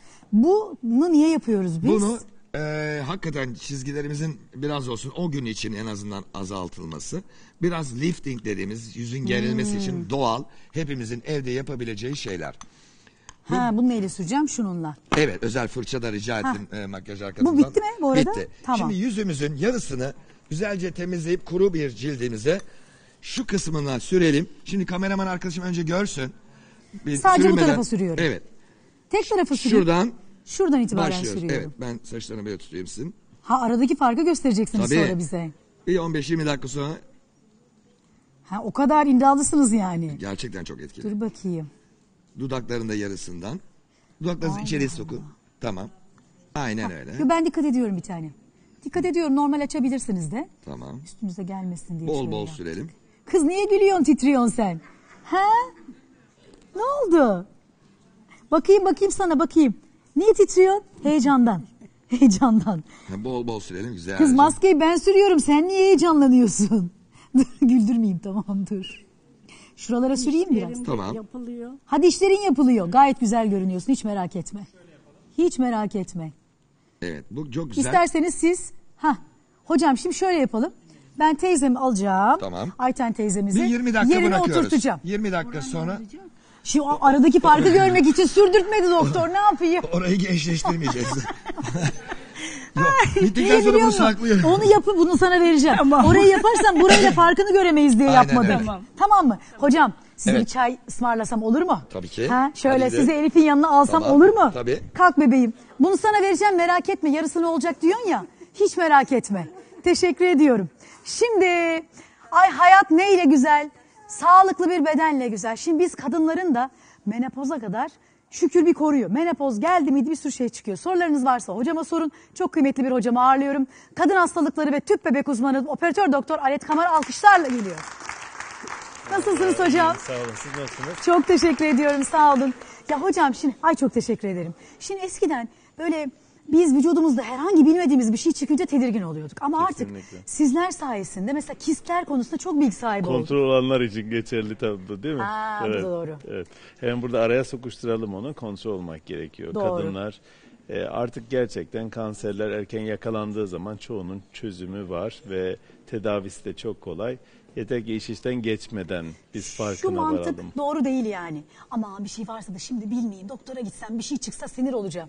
Olacağım da belki de çözümü var. Kesinlikle. Aslında hepsinin çözümü var. Ufakken bir şey yakaladığın zaman o ufak şeyi alıyorsun hemen bitiyor. Ama o ufak şey sağa sola yayılmaya başladığı zaman Hmm. koskocaman bir kitle almak zorunda kalıyorsun. O da aldığın halde bile sağa sola yine sıçramış olabiliyor. Aynen öyle. Dolayısıyla kadınların her sene mutlaka bir kere en az simir yaptırmaları lazım. Simirde bir problem çıkarsa hemen birkaç zaman içerisinde tekrarının yapılması lazım ve Sinir neleri altına. öğreniyoruz sinir testi? Sinir de rahim ağzı kanserinin, rahim girişinin kanserinin en önemli belirteçlerinden bir tanesi. Bakın çok önemli. Rahim ağzı kanserinden bir sürü insan ölüyor değil Ya, mi? Ama rahim ağzı kanseri 10 seneye yakın bir zamanda gelişiyor aslında. 10 sene. Yani, Yani, siz şimdi rahim ağzı kanseriyseniz 10 sene önce mi başlamış Evet, demek kesinlikle ilk belirtilerini yani hücresel değişikliklerini vermeye 10 sene önce başlıyor neredeyse. Yani rahim ağzı kanserini çok rahatlıkla diyebiliriz ki smir aldırmayan kadınların hastalığıdır. Çünkü ötekiler çok ufakken işte orayı donduruyorsun, yakıyorsun, çıkartıyorsun filan. Rahimi almaya bile çoğu zaman gerek Ay. kalmadan çözüm bulunuyor. bu? Şimdi ben de düşünüyorum ben ne Rahimdeki zaman problemler- sinir testimi diye Evet, gidip yaptırma mutlaka. zamanım Aman gelmiş. gözünüzü seveyim. Rahimdeki içindeki problemler adet düzensizliği, kanamalarla zaten kendini belli ediyor ve kadın bir şekilde doktora Hmm. gidiyor ama rahim ağzı kanseri çoğu zaman yakalandığında zaten iş işten geçmiş oluyor. Peki bu pahalı bir yöntem mi? Can acıtan bir yöntem Çok mi? kolay. Artık sağlık ocakları bile yapıyor ki. Aa, en Yeter güzeli. ki gitmek Aa, lazım. Kendi ya. mahallenizdeki sağlık Kesinlikle ocağına öyle, gidin. kesinlikle Ben simir testi yaptırmayı. Allah Kesinlikle aşkına şu öyle. utanıp sıkılma işlerini bırakın. Kesinlikle Hanımlar öyle. bak bu bizim hayatımızı ilgilendiren bir şey. Ben yaptırıyorum. Bak unutmuşum bak belki de bir sene olmuştur. O yüzden zamanı Kesinlikle gelmiş. Öyle. Şimdi Şu yumurtalıktaki ağzınızı problemler de mesela öyle. Yumurtalıktaki problemler kolay kolay belirti vermiyorlar. Tek çare ultrasona gireceksiniz. Yılda bir kere Hmm. mutlaka her kadının ultrasona girmesi gerekiyor. Evet. Peki hocam sorularla devam edelim mi? Evet. 23 yaşında bir izleyicimiz. Polikistik over hastasıymış. Yeni öğrenmiş. 8 aylık evliyim diyor. Şimdi bir aşılama yapılmış. Zaten o zaman öğrenmiş. Ama olmadı diyor. Şimdi ben tüp bebeğe mi geçsem? Şimdi polikistik over e, isminde anlaşıldığı gibi aslında kist yok. Hmm. Polikistik over yumurtalık içinde bol bol yumurta var demektir. O yumurtalar o kadar çoktur ki bir metabolik hastalıktır aynı zamanda. Ama yumurtalık yumurtaları vaktinde vermez. Hmm. Vaktinde vermediği için bunların bir kısmında adet düzensizliği oluyor. Bir kısmı daha gençlik dönemlerinde daha kilolu işte kalçalar daha geniş, yüz daha yuvarlak, biraz daha kollar kalın çocuklar oluyor. Adet düzensizliği her zaman bir belirti oluyor. Bir kısmında tüylenme oluyor. Genç kızken doktora gitmenin en önemli belirtilerinden birisi işte Hmm. erkek tipi bölgelerde, çenede, yüzde, yanaklarda e, tüylenme ve saç dökülmesi de bazen erkek tipi değişimler olabiliyor. E, evlilik çağındaki kadınlarda da adet düzensizliğine bağlı olarak çocuk olmaması olabiliyor. Ama hepsinde spektrum değişik. Şimdi mesela bazı polikistik overler düzgün adet görebiliyor, tüylenmesi olmayabiliyor, kendi kendine gebe kalabiliyor. Yani polikistik overli demek kesin çocuğu olmaz demek değil. Onun için korkmaya gerek yok bir.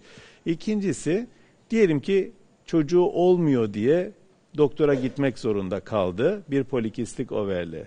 Canım Hem herkes daha 23 keşke polikistik overli olsa. Çok yani polikistik overli demek bol bol yumurta var Hmm. demek. 40 yaşına bile gelse o kızların hep bol bol yumurtası var. Yani bir grupta yumurtası az olanlar varken bir grupta yumurtası çok olanı görünce biz Allah'ım cennete düşmüş gibi aynen. oluyoruz. Yani onun için korkmaya gerek yok. Sadece ismi korkutucu gibi geliyor. Dolayısıyla polikistik overler öyle ya da böyle çocuk sahibi oluyorlar. Basit tedaviler var. İşte hap tedavileri yumurtlatıyoruz biz onları. İşte eşinin spermi normalse ya da tüplerinde bir problem yoksa kendi kendine de gebe kalabiliyorlar. Hmm. Bazıları kilo vererek gebe kalabiliyor. Kilo vermek hamilelik e, Yumurtlamayı artırabiliyor. Evet, polikistik overde öyle bir etki Peki var. normal şartlarda? Normal kilo, kilo vermek şartlarda sadece kilo vermek bile şunu şunu demek yanlış. Şimdi mesela bir hasta geliyor. Her şey yolunda. Düzenli adet görüyor. Kocasının spermi normal, her şey normal. Hastaya bakıyorsunuz biraz kilolu, sen git kilo ver, gel kilo vermezsen çocuğun olmaz. Bu tamamen yanlış. Hmm. Kilolu olan bayan da gayet güzel çocuğu olabilir. Yalnız tedavide tabii teknik zorluklar var. İşte transfer yaparken ultrasonla bakmak gerekiyor. Yumurta Hmm. toplarken ultrasonla toplanıyor. Görüntü bozulabiliyor. Yani görüntünün gücü bozuluyor. Sizin işiniz biraz zorlaşıyor yani. Teknik zorluk. İşte ilaç kullanacaksanız mesela 100 ünite vereceğinize 300 ünite vermek zorunda kalıyorsunuz. Çünkü ilaçlar kiloya göre veriliyor. Ha. Ee, polikistik overli ise özellikle bu çok yumurta çıkmasın diye uğraşıyorsunuz.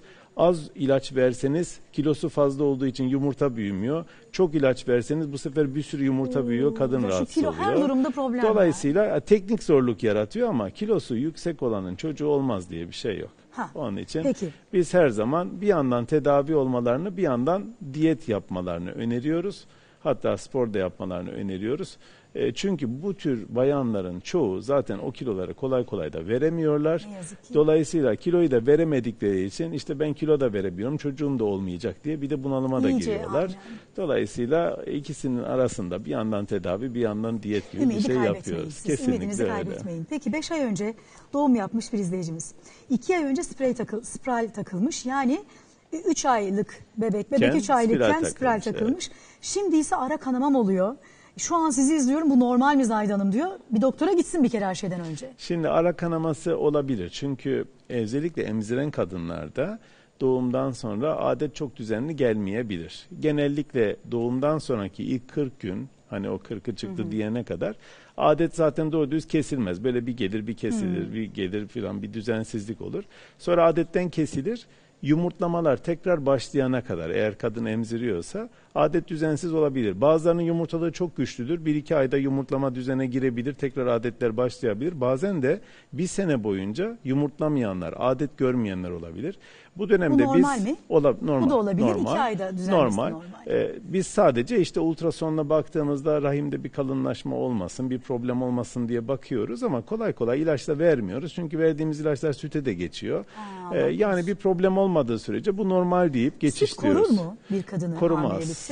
Korumaz. Öyle korumaz, mi? korumaz. Bak, Sakın buna Süt korur e, derler ya bizde büyükleri. Hemen bunu bunu açalım. İşte prolaktin hormonu var. Süt verdiren hormon.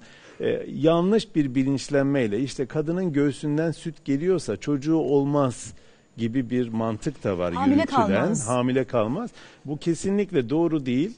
Ee, kadınlar emzirirken eğer düzenli adet görüyorlarsa yumurtalığı çalışıyor demektir. Çalışıyorsa çok da güzel gebe kalabilir. Emzirirken gebe kalan bir Çok sürü kişi de kadın var. var. Aynen. Göğsünden süt gelmesi tek başına hamile kalmama sebebi değildir. Eğer göğsünden süt gelen kadının prolaktin hormonu çok yüksekse prolaktin hormonu bazen yumurtlamayı bozabilir. Sadece o durumda çocuk olmayabilir. Yumurtlama bozulduğu için çocuk olmayabilir. Peki hocam bir şey daha sorabilir miyim? Tabii ki. Derler ki bu 40 günün bir anlamı var lohusalığın. 40 gün mezarı açık kalır derler kadının. Duydunuz değil mi öyle bir laf? Ben hep büyüklerimden duydum. Eski bir laf tabii, Tabii o. o zamanki Eskiden tıp bu kadar savunmasız, için enfeksiyonlar Ha. fazla. Ondan sonra antibiyotikler çok az elimizde doğru düz bir penisilin var o zamanlar. Tabii ne? Penisile cevap vermeyen kendinize. mikrop zaten e, ölüme sebebiyet veriyor. Eskiden öyle. Çünkü normalde bebek çıktıktan sonra rahim kocaman. Hemen bebek çıkar çıkmaz eski boyutuna gelmiyor. Onun eski Hamile gibi boyutuna eve dönüyoruz gelmesi vallahi. tabii karın böyle şiş Evet. gidiyorsunuz. Hatta bir tane daha mı var acaba filan Öyle diye şaka esprileri yapılıyor, yapanlar böyle da saçma oluyor. sapan yapmayın öyle 40 espriler. çıkınca ancak o 40 lafı oradan geliyor. Yani bir ay sonra ancak rahim normal boyutuna geliyor ve e, normal içeriği olması gereken yere gidiyor. O dönem içerisinde işte hem kanama bozuklukları olabiliyor hem de daha damar ağızları falan açık olduğu için oradan bebeğin eşi ayrılıyor Hmm. çünkü plasenta mikrop kapmaya çok daha elverişli bir dönem. E İşte o dönemde birazcık dikkat etmek Dikkat lazım. etmek lazım Evet. hijyen kurallarına. Peki 45 yaşındayım. Hala çocuk arzumdan vazgeçmedim. 11 kez tüp bebek denedim. Yine denemek istiyorum. Hani doğru mu yapıyorum diye soruyoruz. Şimdi hemen burada tabii bir şunu söyleyelim. Kadınlar çocuk sahibi olmak için yaşlarını geciktirmesinler. Şöyle inanıyorlar. Yani ben sağlıklıyım, spor yapıyorum, işte fitim, düzgün besleniyorum. Şu anda çocuk düşünmüyorum. işte kariyer yapıyorum. Ben ileride çocuk yapacağım. Kendime güveniyorum. olsa olur. Olmasa da tüp bebek yaptırırım. Şimdi tüp bebek tabii ki herkese çocuk getirebilen bir yöntem. Ama 30 yaşında bir kadına tüp bebek yaptığınız zaman gebe kalmadığında Allah Allah niye gebe kalmadı ki acaba diyorsunuz. Ama 45 yaşındaki bir kadın gebe kaldığı zaman aa bak gebe kaldı diyorsunuz. Yani çok az şans var. Ee, bizim daha yeni yeni şu anda hani 45 yaşında gebelik taşıyan bir hastamız 48 kere tüp bebek denedikten sonra gebe kaldı. 48 mi? kere 48. Bir ömür geçmiş yani. Bir yumurta bir yumurta, bir yumurta bir yumurta. 48, 48. genetik bir hastalığı da var. Embriyoların içerisinden sağlıklarını da ayıkladık.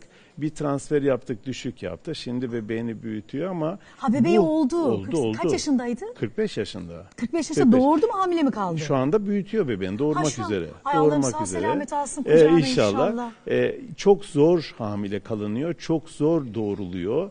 Çünkü servet gitmiştir e, kesinlikle öyle. da. Onun için onun için tabii ki gebe kalınamaz diye bir şey yok. Yani bir kadın yumurtası geliyorsa Bizim 47 yaşında da gebe kalan doğuran kadınımız var.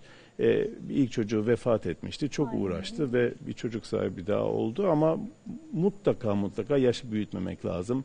Çünkü yaş büyüdüğü zaman gerçekten çok uğraşarak çocuk sahibi olunabiliyor. Ne Allah'tan ümit kesilmez bak Evet. 46 deneme. Yani ne demek? 43'ten sonra %10'un altına düşüyor şanslar denilebilir kabaca yani. İşte daha önce uygun Evet. birisini bulup çocuğu yapmak Lütfen. lazım. Ya da yapamıyorlarsa yumurtayı donduracaklar. Ha. O da o da bir imkan. Artık. O da bir imkan. Lütfen eğer çok pahalı, bir şey, mi? değil. Yumurta dondurma. E, şimdi 45 yaşında 40 kere tüp bebek denemekten kesinlikle daha ucuz bir şey. Çünkü mesela bir kadının 35-36 yaşında yumurtalarını dondurduğunu düşünelim.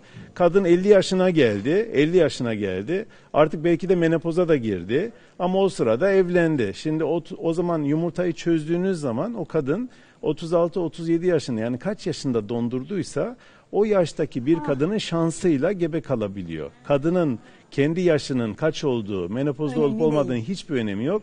Yumurta gebelik getiriyor. 30'unda yumurtayı dondurduk. Evet. 45'inde Doğurduk. bulduk, doğurduk. Evet. Ama 30 yaşındaki gibi doğuruyoruz. Aynen öyle. Hem Var. bebeğin sağlığı açısından hem gebe kalma şansı açısından o dondurduğunuz yumurtanın gebelik getirme gücüyle sizin o anda mevcut olduğunuz yaştaki yumurtanın gebelik getirme gücün hiçbir ilgisi Bak yok. neler yani. neler çıkıyor Evet. görüyor musunuz? Onun için Bunlar bizim eğer için çocuk şans. yapamıyorsak evli değilse yumurtayı dondurabiliyoruz. Peki 29 yaşındayım. 3 ayda bir regle olduğum için doktora gittim. Doktor erken menopoz dedi. Bu asla çocuk sahibi olamayacağım anlamına mı geliyor? Daha 29 yaşındaymış. Ay kesinlikle değil. Ee, vallahi ne güzel sorular soruyorlar. Şimdi bir kadının çocuk doğurabilmesi için yumurtasının olması yeterlidir. Eğer bir kadın hormonları ne olursa olsun, AMH'sı çok düşük, FSH'sı yükselmiş, işte doğru düz adet göremiyor, Hmm. gecikmeli adet görüyor. İşte bunlara Kendi biz kendine- menopoz demiyor muyuz erken menopoz? Menopoz demek bir sene adet görmemek demek. kesintisiz bir sene. Yani hormonlar da adet görmemenin tek sebebi çünkü yumurtalığın çalışmaması değildir. Rahimdeki Hmm. problemlerden adet görülmeyebilir. Bazen hipofiz doğru düz yumurtayı uyarmadığı için kadında aslında bir sürü yumurta vardır ama yumurta üretmiyor da olabilir.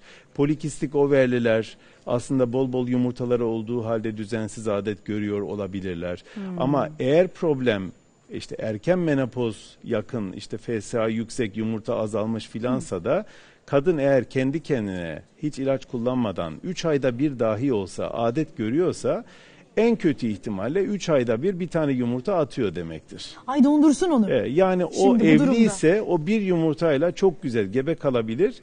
Kaç yaşındaysa o yumurta 29'muş bu, o yumurtanın hani o yaşın yumurtasının şansıyla gebe kalır. Onlar yani dondursa peki yumurtalarını? dondurabilirler de öyle çok birde. var. Bizim üniversite öğrencilerimiz var 20 yaşında. Ya. Böyle tek tük yumurta donduruyoruz. Daha evli bile değiller. E Ama şimdi akıllılık yapıyorlar E, işte. Kesinlikle öyle. Çünkü biz zamanında bu işleri yeni yapmaya başlarken böyle çocuklarla 30'lu yaşlarda menopoza şey girmiş bitmiş yani. vaziyette karşılaştık. Yapacak hiçbir şey yoktu.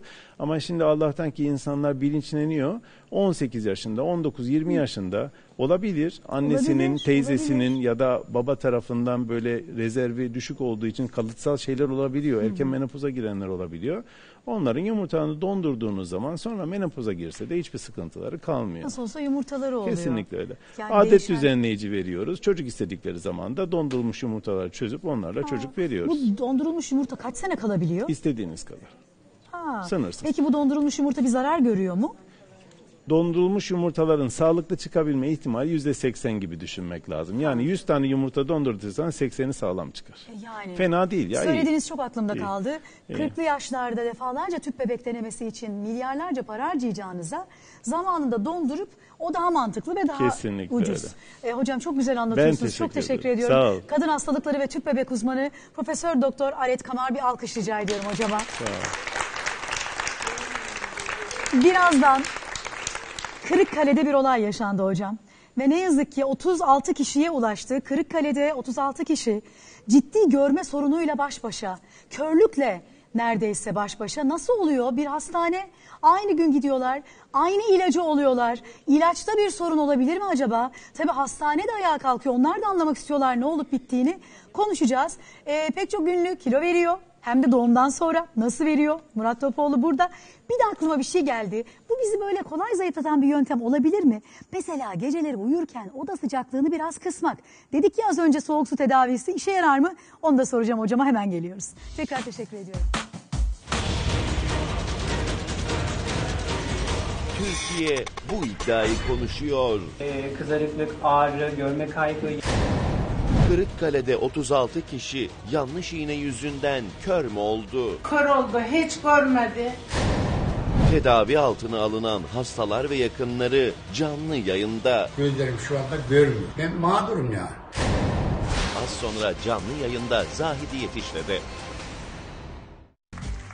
Şimdi Ayten Hanım'ın yüzünün yarısına az önce yaptığımız Murat Topoğlu'nun maskesini sürdük. İyi misin Ayten Hanım? İyiyim çok iyi. Kızıyordu bana niye bunu yarım sürdün diye. Dur şimdi göreceğiz. Şöyle bak sen düz bak. Ha ne hissediyorsun şu anda burada? Ben temizleyeyim bir taraftan. İlk başta kururken bir de kımıldamalar oldu. Böyle hafif şuramda daha çok bir yanmam oldu. Kımıldama derken Yani böyle hücrelerde herhalde bir şey oldu ona. Allah Allah. Vallahi öyle Ama sonra mikrofonu bir- unuttum mikrofonu. Evet, evet. Ne oldu bir daha söyle bana şimdi. Kımıldamalar oldu böyle yanma vardı. Sonra gerildiğini hissettim yani o kadar. Çok güzel sağlıklı maskelerden bir tanesidir bu hakikaten. Yalnız gerçekten güzel görünüyor ya. Allah Şöyle Allah. alalım. Ha şöyle. Çünkü içinde nişasta var. Tabii. Kapat annem Nişasta, ağzını. yumurtanın, Kapat aşkım. Ha. yumurtanın Ha. beyazı. Allah Allah. Şurada da var galiba. Evet evet daha seni elini yüzünü yıkamaya da göndereceğim de. sürebilirsiniz bunu. Gerçekten. Bakayım. Kızardı şimdi ben şeyle. Aa şurasıyla şurası. Şu çizginin bile yarısı gitmiş ya. Yok canım o kadar olabilir mi ya? Kız gerçekten çizginin yarısı yok. Bu böyle miydi? Bu böyle miydi? İkisi eşit miydi? Magic oldu. Vallahi e yapalım madem biz bu maskeyi. yapalım. Maskenin yarısı da senin. Tekrar söyleyelim patatesi güzelce rendeledik. Sonra suyunu Topladı mı? şişti mi?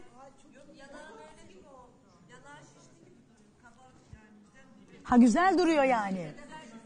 Peki dur kaynatmayın diyor Mustafa hemen. Tamam. Sonuçta güzel bir şey yapmışız yani. Tekrar söyleyelim. Patatesi ederim. rendeledik. Suyunu sıktık. Yarım saat 45 dakika bekledik ya alta beyaz o nişastası nişasta. çöksün. O nişastasını aldık. Yumurtanın içine beyazı. biraz koyduk. Biraz da havuç suyu koyduk. Karıştırıp sürdük. bu kadar. 20 dakika haftada Kuruyana bir veya iki defa bekliyoruz. yapılabilir bu. Tamam. Evet. Peki. Güzel bir Teşekkür bakalım. ediyorum Ayten teyzeciğim. Teşekkür ederim. Ver ver sen onları bana. Mikrofonu bana ver. Bu senin istiyorsan öbür tarafa da sen sür. Ha götüreme tamam o zaman. Tamam. Te- Ben teşekkür ediyorum. Hocam. Evet. Şimdi hamile hanımlar var. Onlar şöyle alayım sizi Tabii hocam yanıma. Mesela hemen ilki gelsin. Ünlülerin zayıflama sırları.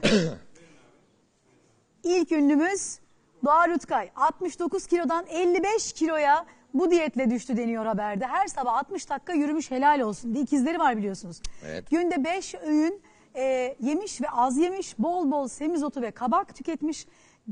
Canı pilav istediğinde de pilav yerine bulgur tercih etmiş ve suyu çok içmiş. Çok doğru.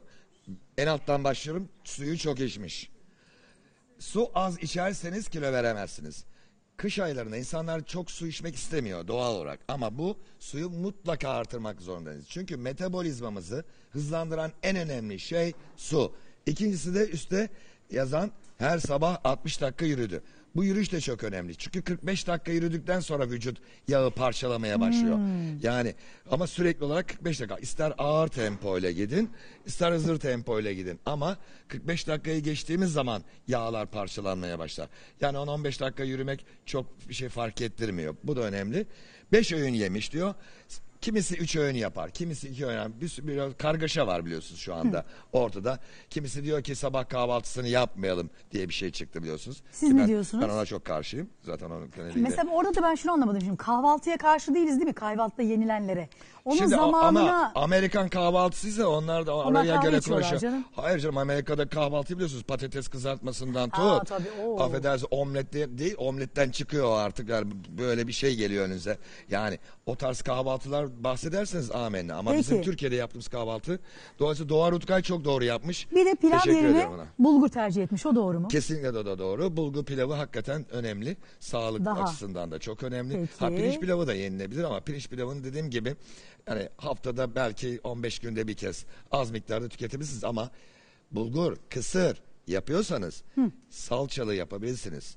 Sebzeli pilav yapabilirsiniz. Sebzeli kısır yapabilirsiniz. Bir çorba kasesi yanında salata turşu yiyeceksiniz. Salata, Yoğurttu, turşu. etti, peynir yanında yersiniz kilo alırsınız. Peki. Kilo alırsınız. Yanında Yeni bir yediğim yüz. şey önemli. Yeni bir yüz, yeni bir kilo. Kim Bakalım geliyor? kim geliyor? Ah Fahriye Evcen 12 kilo. Allah'ım o evlat nasıl güzel, nasıl güzel. Un, Un, tuz, tuz, şekerden şeker. uzak durmuş. Bu Doğru. zaten hepimiz için geçerli. yani. Aynen karbonhidrat tüketimini azalttı. Karbonhidrat dediğim zaman biliyorsunuz bir sürü bir basit ka- karbonhidratlar var bir de kompleks karbonhidratlar.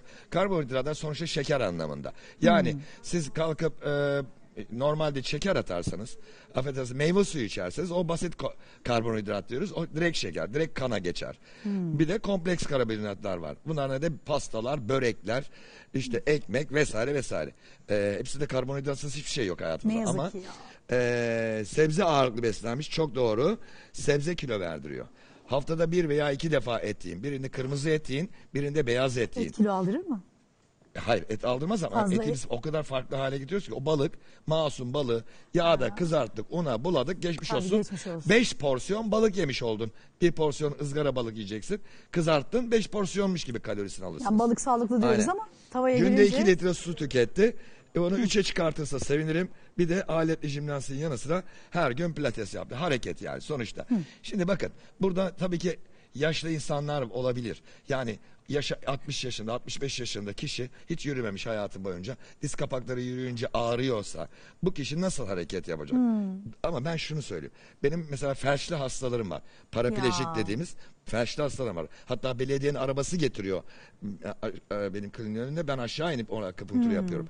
O insan bile 4 ayda emin olun 20-25 kilo verdik. Oo. Hani önce şunu kes- keseceğiz demeyeyim de azaltacağız. Yani Şuraya hareket yaparsak avantaj ama hareketsiz de kilo verilebiliyor. kesinlikle verebiliyorsunuz. Yemeyerek. O önemli. Peki. Onun için yediğiniz şey çok önemli. Peki ve e, aletli jimnastik ve pilates. Bu arada Fahriye Evcen'e yazdı galiba o bebeğini dünyaya getirdiğinde ya da hatırlamıyorum. Ay bir saldırdılar kadıncağıza. Şöyle görünüyor böyle görünüyor. Dünyanın en güzel kızlarından biri bence ya. Bir de anne olmuş. Hiç acımamız yok bazen. Gerçek hiç acımamız yok. Allah sizi ıslah etsin ben ne diyeyim yani. Bir şeyi alıp böyle bin etmeyi ve bu kadın yenip bebek sahibi olmuş sütten kesilir diyen yok. Ne kadar üzülmüştüm o zaman.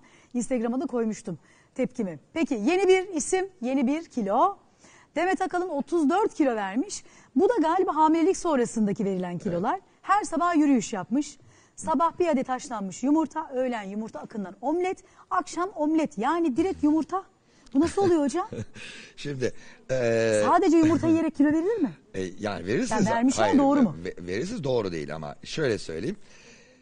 Bazı tip şeyler vardır, sistemler var. Bu e, bizim hatta fakültedeyken bir hafta boyunca yumurta yiyorsunuz mesela. Hmm. Sabah yumurta, öğlen yumurta, akşam yumurta.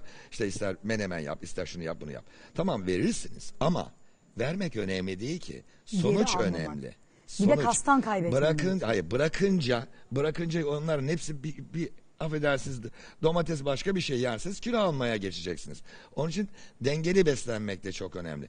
Bir ünlü şöyle yaptı diye siz onun arkasından bir şekilde yaparsanız sizin vücudunuza uygun olmayabilir. Ona aa, ben buna da karşıyım tabii ki. Hani haftada üç defa dört defa yumurtayı ben de veriyorum hastalarıma. Amenna ama e, sürekli sabah öğlen akşam sürekli yumurta yiyip sonraki hafta ne yapacağız? Yumurta mı ne yapacağız? Bal yiyen baldan bıkar diye bir şey var. Bıraktığınız zaman da şak diye geri gelir. Bakın öyle enteresan kişiler var. Beş tane hastam var. E, beşi de mide ameliyatı geçirmiş. Tüp mide ameliyatı. Ama çocukluktan beri obez yaşayan kişiler bunlar. Beşi de mide ameliyatı geçirmiş. Beşi de a, iki yılda 60'ar kilo vermişler. Aradan bir iki yıl daha geçiyor o 60 kiloyu geri almışlar. Aa, Tabii ki. Mide büyümüş. Yavaş yavaş büyütüyorsunuz. Karbonhidrat gibi şeyleri ya fazla yemeye başlıyorsunuz. Eyvah, ama eyvah. az yiyorsunuz ama kalorisi yüksek olan şeyleri yemeye yiye yiye sonra bir şey olmuyor. Artık biraz daha genişliğe genişliğe genişliğe artık Eyvah, o kilolar geri geliyor. Dolayısıyla ha bu tüp mide ameliyatına karşılığı olduğumdan değil. Bunun için anlatmadım ama şunun için anlattım. Beyin obezse doktorun da yapacağı bir şey yok. Şimdi burada hepiniz istiyorsunuz. Buradaki hanımefendi istiyor. Şuradaki hanımefendi istiyor. Siz televizyon başında hepiniz kilo vermek istiyorsunuz. Ama yapmıyorsunuz ki. Yapmıyorsunuz. Sadece istiyoruz. İstiyorsunuz. İstemekle olmaz. İstiyoruz ki bir hap olsun yutalım hop kilo verelim öyle bir dünyada yok. Yani keşke yani o çaylar şunlar bunlar bırakın Her onları. sene böyle bir şey çıkartıyorlar aman ha gözünüzü seveyim. Sizin paranızı alıyorlar bir güzel onlar zengin oluyor. Siz yine aynı kiloda kalıyorsunuz. Ay. Hatta bedeninizi bozduğunuz için daha çok kilo alıyorsunuz. Onun için dediğim gibi yani hekime gitmekte çok büyük yarar var. Hekim önemli olan. Yani sizi yönlendirecek olan da bir hekimdir. Ama dediğim gibi ben akupunktur yaptığım için akupunktur tabii iştah acıkmayı azalttığı için çok rahat bir şekilde akupunktur tedavisiyle kilo vermek daha rahat oluyor. Peki Şimdi bitti mi bu arada? Ha şu tatlı krizi ile ilgili diyecektim ama Bir peki masum. önce bir görüntülerimiz var. tamam. Şimdi ne yazık ki e, yani vahim bir durum yaşanıyor şu anda ülkemizde Kırıkkale'de. Kırıkkale'de göz e, özellikle aslında bunu sizler de bilirsiniz şeker hastası olan varsa görme bozuklukları ortaya çıkabiliyor. Şeker hastalarında kullanılan bir ilaç bu. Bu ilacı evet damarlarla ilgili gözün arkasına yapılıyor. E, Kırıkkale'de mağdurlar bu bir tıp fakültesi burası. İyi niyetli olduklarına yüzde yüz eminim fakat nasıl bu olay bu hale geldi? 36 kişi körlükle karşı karşıya. İzleyelim mi görüntülerimizi önce? Kırıkkale'ye iğne olmaya geldim. Sıramız geldi iğneye girdik. Bir gün sonra kontrola geldim. Kontrola gelip de gittikten sonra feci ağrılar, Gözüm kapandı. gözüm kör oldu, hiç görmedi. Çıldıra çıldıra 3-4 gün idare ettik. Ama şimdi bile hiç görmüyor. Hastanedeyim. Hastanedeyim, ameliyat oldum yine görmüyor. 17'sinde, 17 Ocak'ta hastanesine gözümüze iğne bulunmak için gittik. Şimdi e, ise e, tekrar 18. Cumartesi günü kontrola gittik. O gün e, kontrolden sonra gözlerimde ağrı başladı. Cumartesi, pazar günü ise temeli daha çok ağrıdı. Ondan sonra bir de pazartesi günü e, te, e, kontrol şeye geldim, hastaneye. Gözüm görmüyordu. Şu anda ben mağdurum. Bizi acilen o gün apar topar kafeye havale ettiler. Gözlerim şu anda görmüyor. Ben mağdurum yani.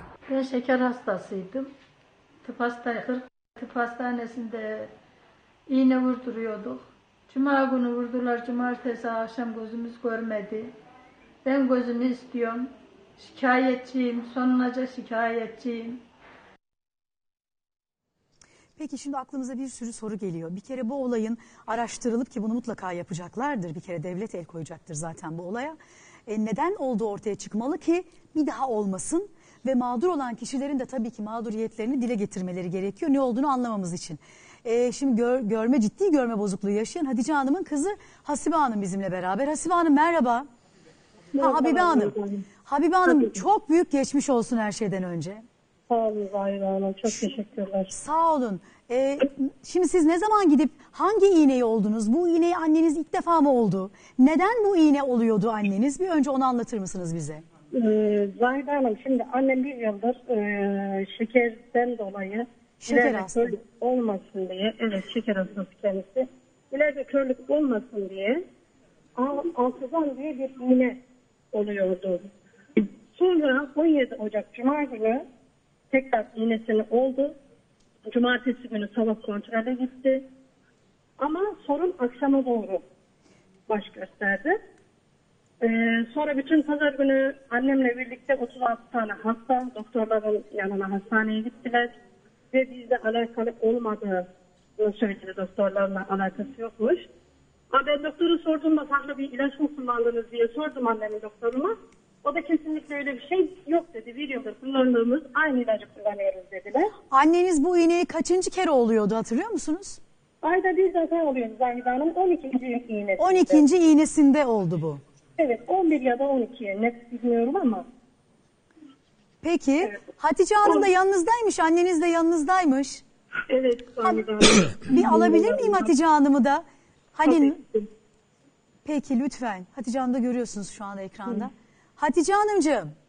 Evet. Çok geçmiş olsun. Öncelikle. Evet. Hatice Hanım şimdi siz bu iğneyi oldunuz. Evinize gittiniz. Evet. Normalde bu iğneyi olup gidince nasıl hissediyordunuz? Hanım biz sabah cuma günü gittik iğneyi vurunduk. Ha. Eve de gittik. Cumartesi kontrola gel- gelin dediler. Geldik geldik. Bir şey yok diye gönderdiler. Akşama doğru sancılar başladı. Gözünüzde Çok kötü sancı san- başladı. Evet gözümüzde sancılar başladı. Görmemek, görmemeye başladı. Vallahi bilmiyorum ne olacak. Peki, Sizi çok si- seviyorum. Canım benim ellerinden öpüyorum anneciğim ya. Ne olduğunu anlamaya çalışıyoruz şu anda. Yani bu kimsenin başına gelmesin ama bu olay zaten bak bu olaya devlet el koyar. Bu olayı araştırır. Ne oldu ortaya çıkar. Hem başkaları mağdur olmasın diye sizin de mağduriyetiniz ivedilikle çözülmesi lazım. İnşallah kalıcı bir hasar olmaz. Ama Hatice annem şimdi siz normalde bu iğneyi 12. kere olmuşsunuz. Evet aydan ay oluyordum bir bir gözümden bir bu gözümden. O zaman iyi mi geliyordu bu iğne? Bize bir şey açıklamıyorlar ya iyi olur ya iyi olmaz. Ya kalıcı olur. Hayır hayır şimdi bu son iğneden bahsetmiyorum. Daha önce olduğunuz iğnelerde bir sorun çıkmış mıydı? Çıkmamıştı. Çıkmamıştı. Faydası oluyor muydu peki bu iğnenin? Faydası da pek olmuyordu. Hiçbir faydasını da göremediydim. E niye gidip yaptırıyordun annem o zaman? Vallahi gelin diyorlardı gidiyorduk. Bilmiyorum ki kalı şey ilerlemesin diye yapıyor bir iğneyi dediler. Ha. Peki bu iğne aynı iğne miymiş sordunuz mu doktora? Vallahi biz sorduk aynı iğne dediler. Bazıları da Sağlık Bakanlığı bu iğneyi piyasaya gelirse devam edin demiş diyorlar. Ama o diyorlar diyorlar o onu çok şey yapmayın. O kulaktan kulağa çok şey söylenir. Ben eminim. benim oğlum Bak bizim programımızda okudu. Sağlık Bakanlığı yetkilileri seyrediyor. Bu olaya acil şekilde ben el koyacaklarına inanıyorum. Müdahale edeceklerini düşünüyorum. Zaten onlar gerekli açıklamayı yaparlar. İnşallah size hani ciddi bir hasar vermez. Peki bir şey soracağım. Siz bir araya geldiniz mi bu mağdurlar? Aynı problemi yaşayan e, vatandaşlar. Birbirinize Evet, sordunuz mu? Siz de mi aynı, siz de mi aynı diye? Aynı aynı hocam aynı hep Kırıkkale Hastanesi'nde hep toplandık. Kaç kişiydiniz Hastane- peki? O 25-30 kişi vardı. 36 kişi olmuş son duyduğumuz bilgilere göre. Evet. Bizim duyduğumuzda 30 kişilerdi. Hatice Hanım bir şey daha soracağım. Siz aynı gün mü bu iğneyi oldunuz? Aynı, Aynı odada gün. mı oldunuz? Aynı gün aynı ameliyathanede. Ha, aynı ameliyathanede oldunuz. Evet. Peki. e, yani şöyle Kırıkkale'deki doktorlar bir açıklama yapmışlar. Onu da bir izleyelim. Hatice annem orada kal lütfen. Açıklamadan sonra belki sana birkaç sorum daha olur. Olur mu? Şimdi Kırıkkale'de doktorlar bir yetkili daha doğrusu açıklamasını yapmış. Bir izleyelim neler söylemiş buyurun. Bu iğne hastaneden tek bir flakondan tüm hastalara uygulandığı için enfeksiyon riski, e, gözde bu şekilde e, kızarıklık, ağrı, görme kaybı yapma riski diğer ilaçlara göre daha yüksek. E, bazı en- iğnelerden sonra bu görülebiliyor. Geçmişte de görülmüş, tüm hastalarda görülmüş. E, bunun oranı çok düşük ama e, bu şekilde e, 100 hastadan birinde ortalama bu reaksiyonun, bu iltihabın görülme ihtimali var. Ee, bununla ilgili şu an biz ne yapabiliriz ona odaklanmamız lazım. Aynen. Hani oldu çünkü bu olay artık bu şekilde bir uygulama yapıldı. Artık hani bundan sonrasına bakacağız. Ee, bununla ilgili hani gözümüzle ilgili ne tür tedaviler uygulayabiliriz? Bu durumu ne kadar erken geri döndürebiliriz? Bunun işine bakmamız lazım. Erken müdahale ve erken tedaviyi uygulayacağız ve yakın takip edeceğiz tüm hastaları. Ee, tüm tedaviyi en üst seviyeden uygulayacağız tüm hastalarımıza. Yani tabii burada keşke birisi de hani bu geri dönüşü olan bir şeydir inşallah. Görme kaybı ciddi bir şey zaten insanlar görmek için geliyorlar. Gözüm iyileşebilecek mi diye soran oldu mu acaba yetkililere? Yalçın Bey yine görme kusuru bir hayli yükselen e, Yalçın Bey'in oğlu Feruk Bey de bizimle beraber. Hoş geldiniz efendim merhaba. Hoş bulduk, kolay gelsin. Çok büyük geçmiş olsun. Şu an babanız ne durumda? Yalçın. Bey ne durumda şu an? Şu an ilaç tedavisi devam ediyor babam. Biz iki gün Kırıkkale Tıp Fakültesi Hastanesi'nde kaldık, üniversiteye bağlı. E, orada aslında hiçbir şey olmadığını söylediler bize. İki gün boyunca ısrarla sormamıza rağmen, hayır hiçbir problem yok, diğer hastalara göre daha iyisiniz dediler ama üçüncü günkü kontrolde e, görme kaybının yani 4 derece falan düştüğünü söylediler ve bir an önce Gazi Hastanesi'ne sevkimizi yaptılar. Şimdi buraya geldik. Ee, burada şu an ilaç tedavisi devam ediyor. Yani ameliyatla nasıl olacak veya ilaç süresi ne kadar sürecek? Buradaki hocalarımız da bir şey bilmiyor şu an tam olarak. Peki Ama sordunuz dediğim mu? gibi yani Bu hasar şöyle- neden olur diye sordunuz mu peki oradaki doktorlara? e, yani buradaki hocalarımıza sormadık biz.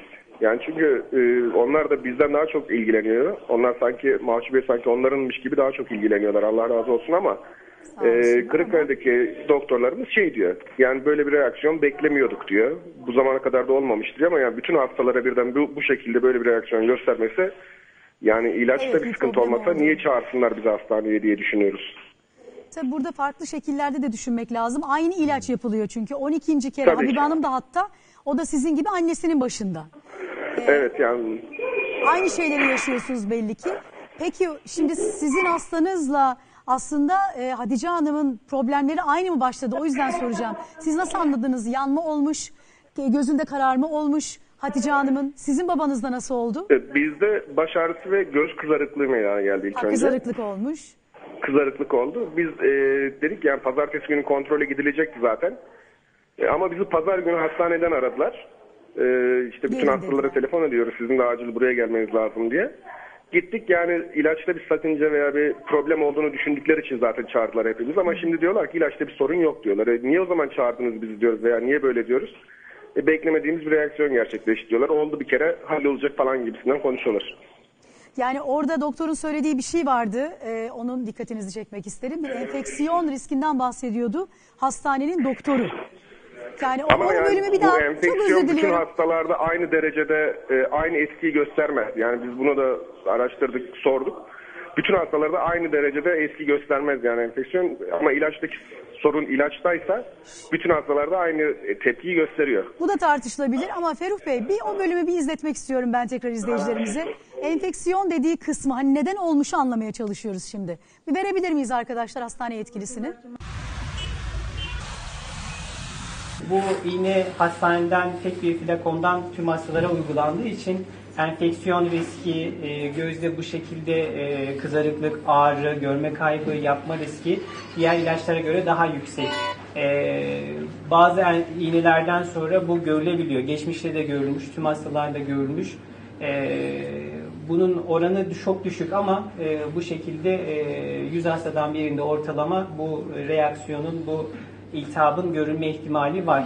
Ee, bununla ilgili şu an biz ne yapabiliriz ona odaklanmamız lazım. Aynen. Hani oldu çünkü bu olay Tabii. artık bu şekilde bir uygulama yapıldı. Artık hani bundan sonrasına bakacağız. Ee, bununla ilgili hani gözümüzle ilgili ne tür tedaviler uygulayabiliriz? Bu durumu ne kadar erken geri döndürebiliriz? Bunun işine bakmamız lazım. Erken müdahale ve erken tedaviyi uygulayacağız ve yakın takip edeceğiz tüm hastaları.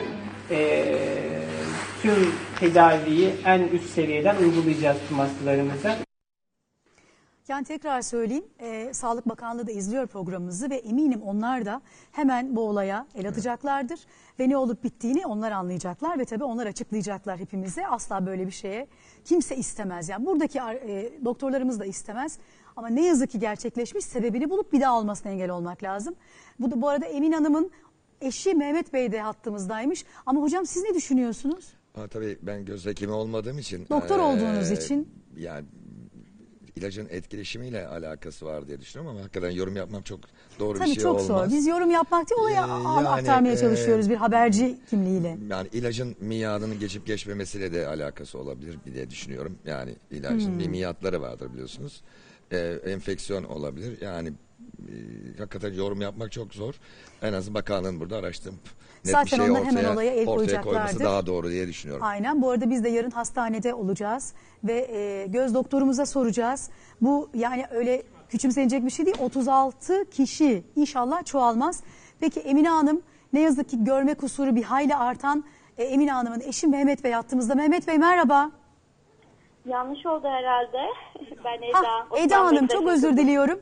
Eda Hanım siz Mehmet Bey'in nesisiniz? Ee, ben Osman Bektaş'ın kızıyım. Ha, Osman peki Bey. Osman Bey önce size de çok büyük geçmiş olsun. Teşekkür ederim. Şimdi izlediniz herhalde bağlanan hatta onlar da hala hatta olabilirler. Ee, Mehmet Bey ve e, hanımefendi hattaydı. Siz neler yaşadınız Eda Hanım? Çok geçmiş olsun Osman Bey'e de. Ee, biz de benzer şeyler yaşadık. Ee, bir ay önce ilk defa göz arkasında kanama olduğu için iğne yapıldı. Oo, şu an Osman Bey'i mi görüyoruz biz ekranda? Babanızı görüyoruz. Çok çok geçmiş olsun. Muhtemelen öyledir. Ben göremiyorum çünkü. Siz hastanede misiniz şu anda? Evet, evet. Zaten bağlanan ben. bütün izleyicilerimiz hep hastaneden bağlandılar bize şu anda. Evet, en az 10 gün hastanedeyiz buralarda. Öyle mi? Ne dedi doktorunuz peki? Ee, doktorumuz dün ameliyatın iyi geçtiğini söyledi ama herhangi bir açıklama yapamıyoruz. Bunu zaman gösterecek. Peki bu babanız tür ne ameliyatı oldu tam olarak biliyor musunuz? Ee, bu enfeksiyonda gözündeki oluşan mikropları temizleme ameliyatı yaptılar. Nasıl geçmiş peki? Ee, iyi geçtiğini söylemiş doktor. Şükür. Ama e, tabii zaman gösterir. İnşallah görürsün İnşallah. amca diye de söylemişler. Peki Tabii şu an hiç mi göremiyor babanız? Şu an hiç göremiyor. İki gözüyle de hiç göremiyor. Hayır, sağ gözüyle. Ha sadece tek gözü. O göze mi iğne yapılmıştı? Evet, o göze iğne yapıldı. Diğer göze? Diğer göze de bir hafta sonra yapılacaktı. Allah'tan Ha. hemen et- diğer göze yapılmadı. Oo. Daha kaçıncı iğnesiydi bu babanızın? Daha önce yapılmış mıydı bu iğneden? Geçen ay bir tane yapılmıştı. Bir sağ bir sol gözüne. Ee, onda gayet iyiydi ama bu sen, bu seferkinde ilacı değiştirmişler. Daha ucuz yollu bir ilaç aldıkları için. Bunların iddia olduğunu söyleyelim tabii bilmiyoruz. Siz Tabii ki. duyumları duyuyorsunuz ama. Tabii ki biz de gazetede yazanı söylüyoruz. Zahide Hanım. Yani bunu mutlaka Ama araştıracaktır. Sağlık Bakanlığı onu tekrar tekrar söylüyorum. 36 bir mağduriyet var burada. Ee, yarın zaten hastanede olacak ekibimiz. Ee, hastane yetkilileriyle biz de konuşmak istiyoruz. Olayı tabii ki araştıracağız. Ve izleyicimize en doğru ve en hızlı bilgiyi ulaştırmaya çalışacağız. Eda Hanım bir şey daha. Bu ilaç daha önce yapıldığında işe yaramış mıydı babanızda? Osman Aynı Bey. ilaç değilmiş Zahide aynı ilaç değilmiş sizin duyumlarınıza Evet. göre. Peki Osman Bey şu an yanınızda mı? Evet yanımda. Bir alabilir miyim ona da bir geçmiş olsun dileyim. Tabii ki vereyim. İyi günler. Osman Bey merhaba çok çok geçmiş olsun. Sağ olun Allah razı olsun. Sizden de razı olsun. Ameliyatınız iyi geçmiş öyle öğrendik.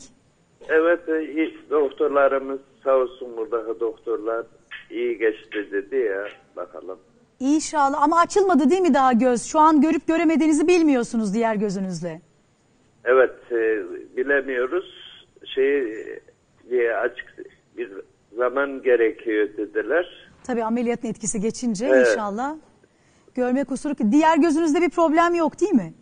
Yok işte e, kanama var diye şey yaptılardı. Peki. Kimle vuracak diye.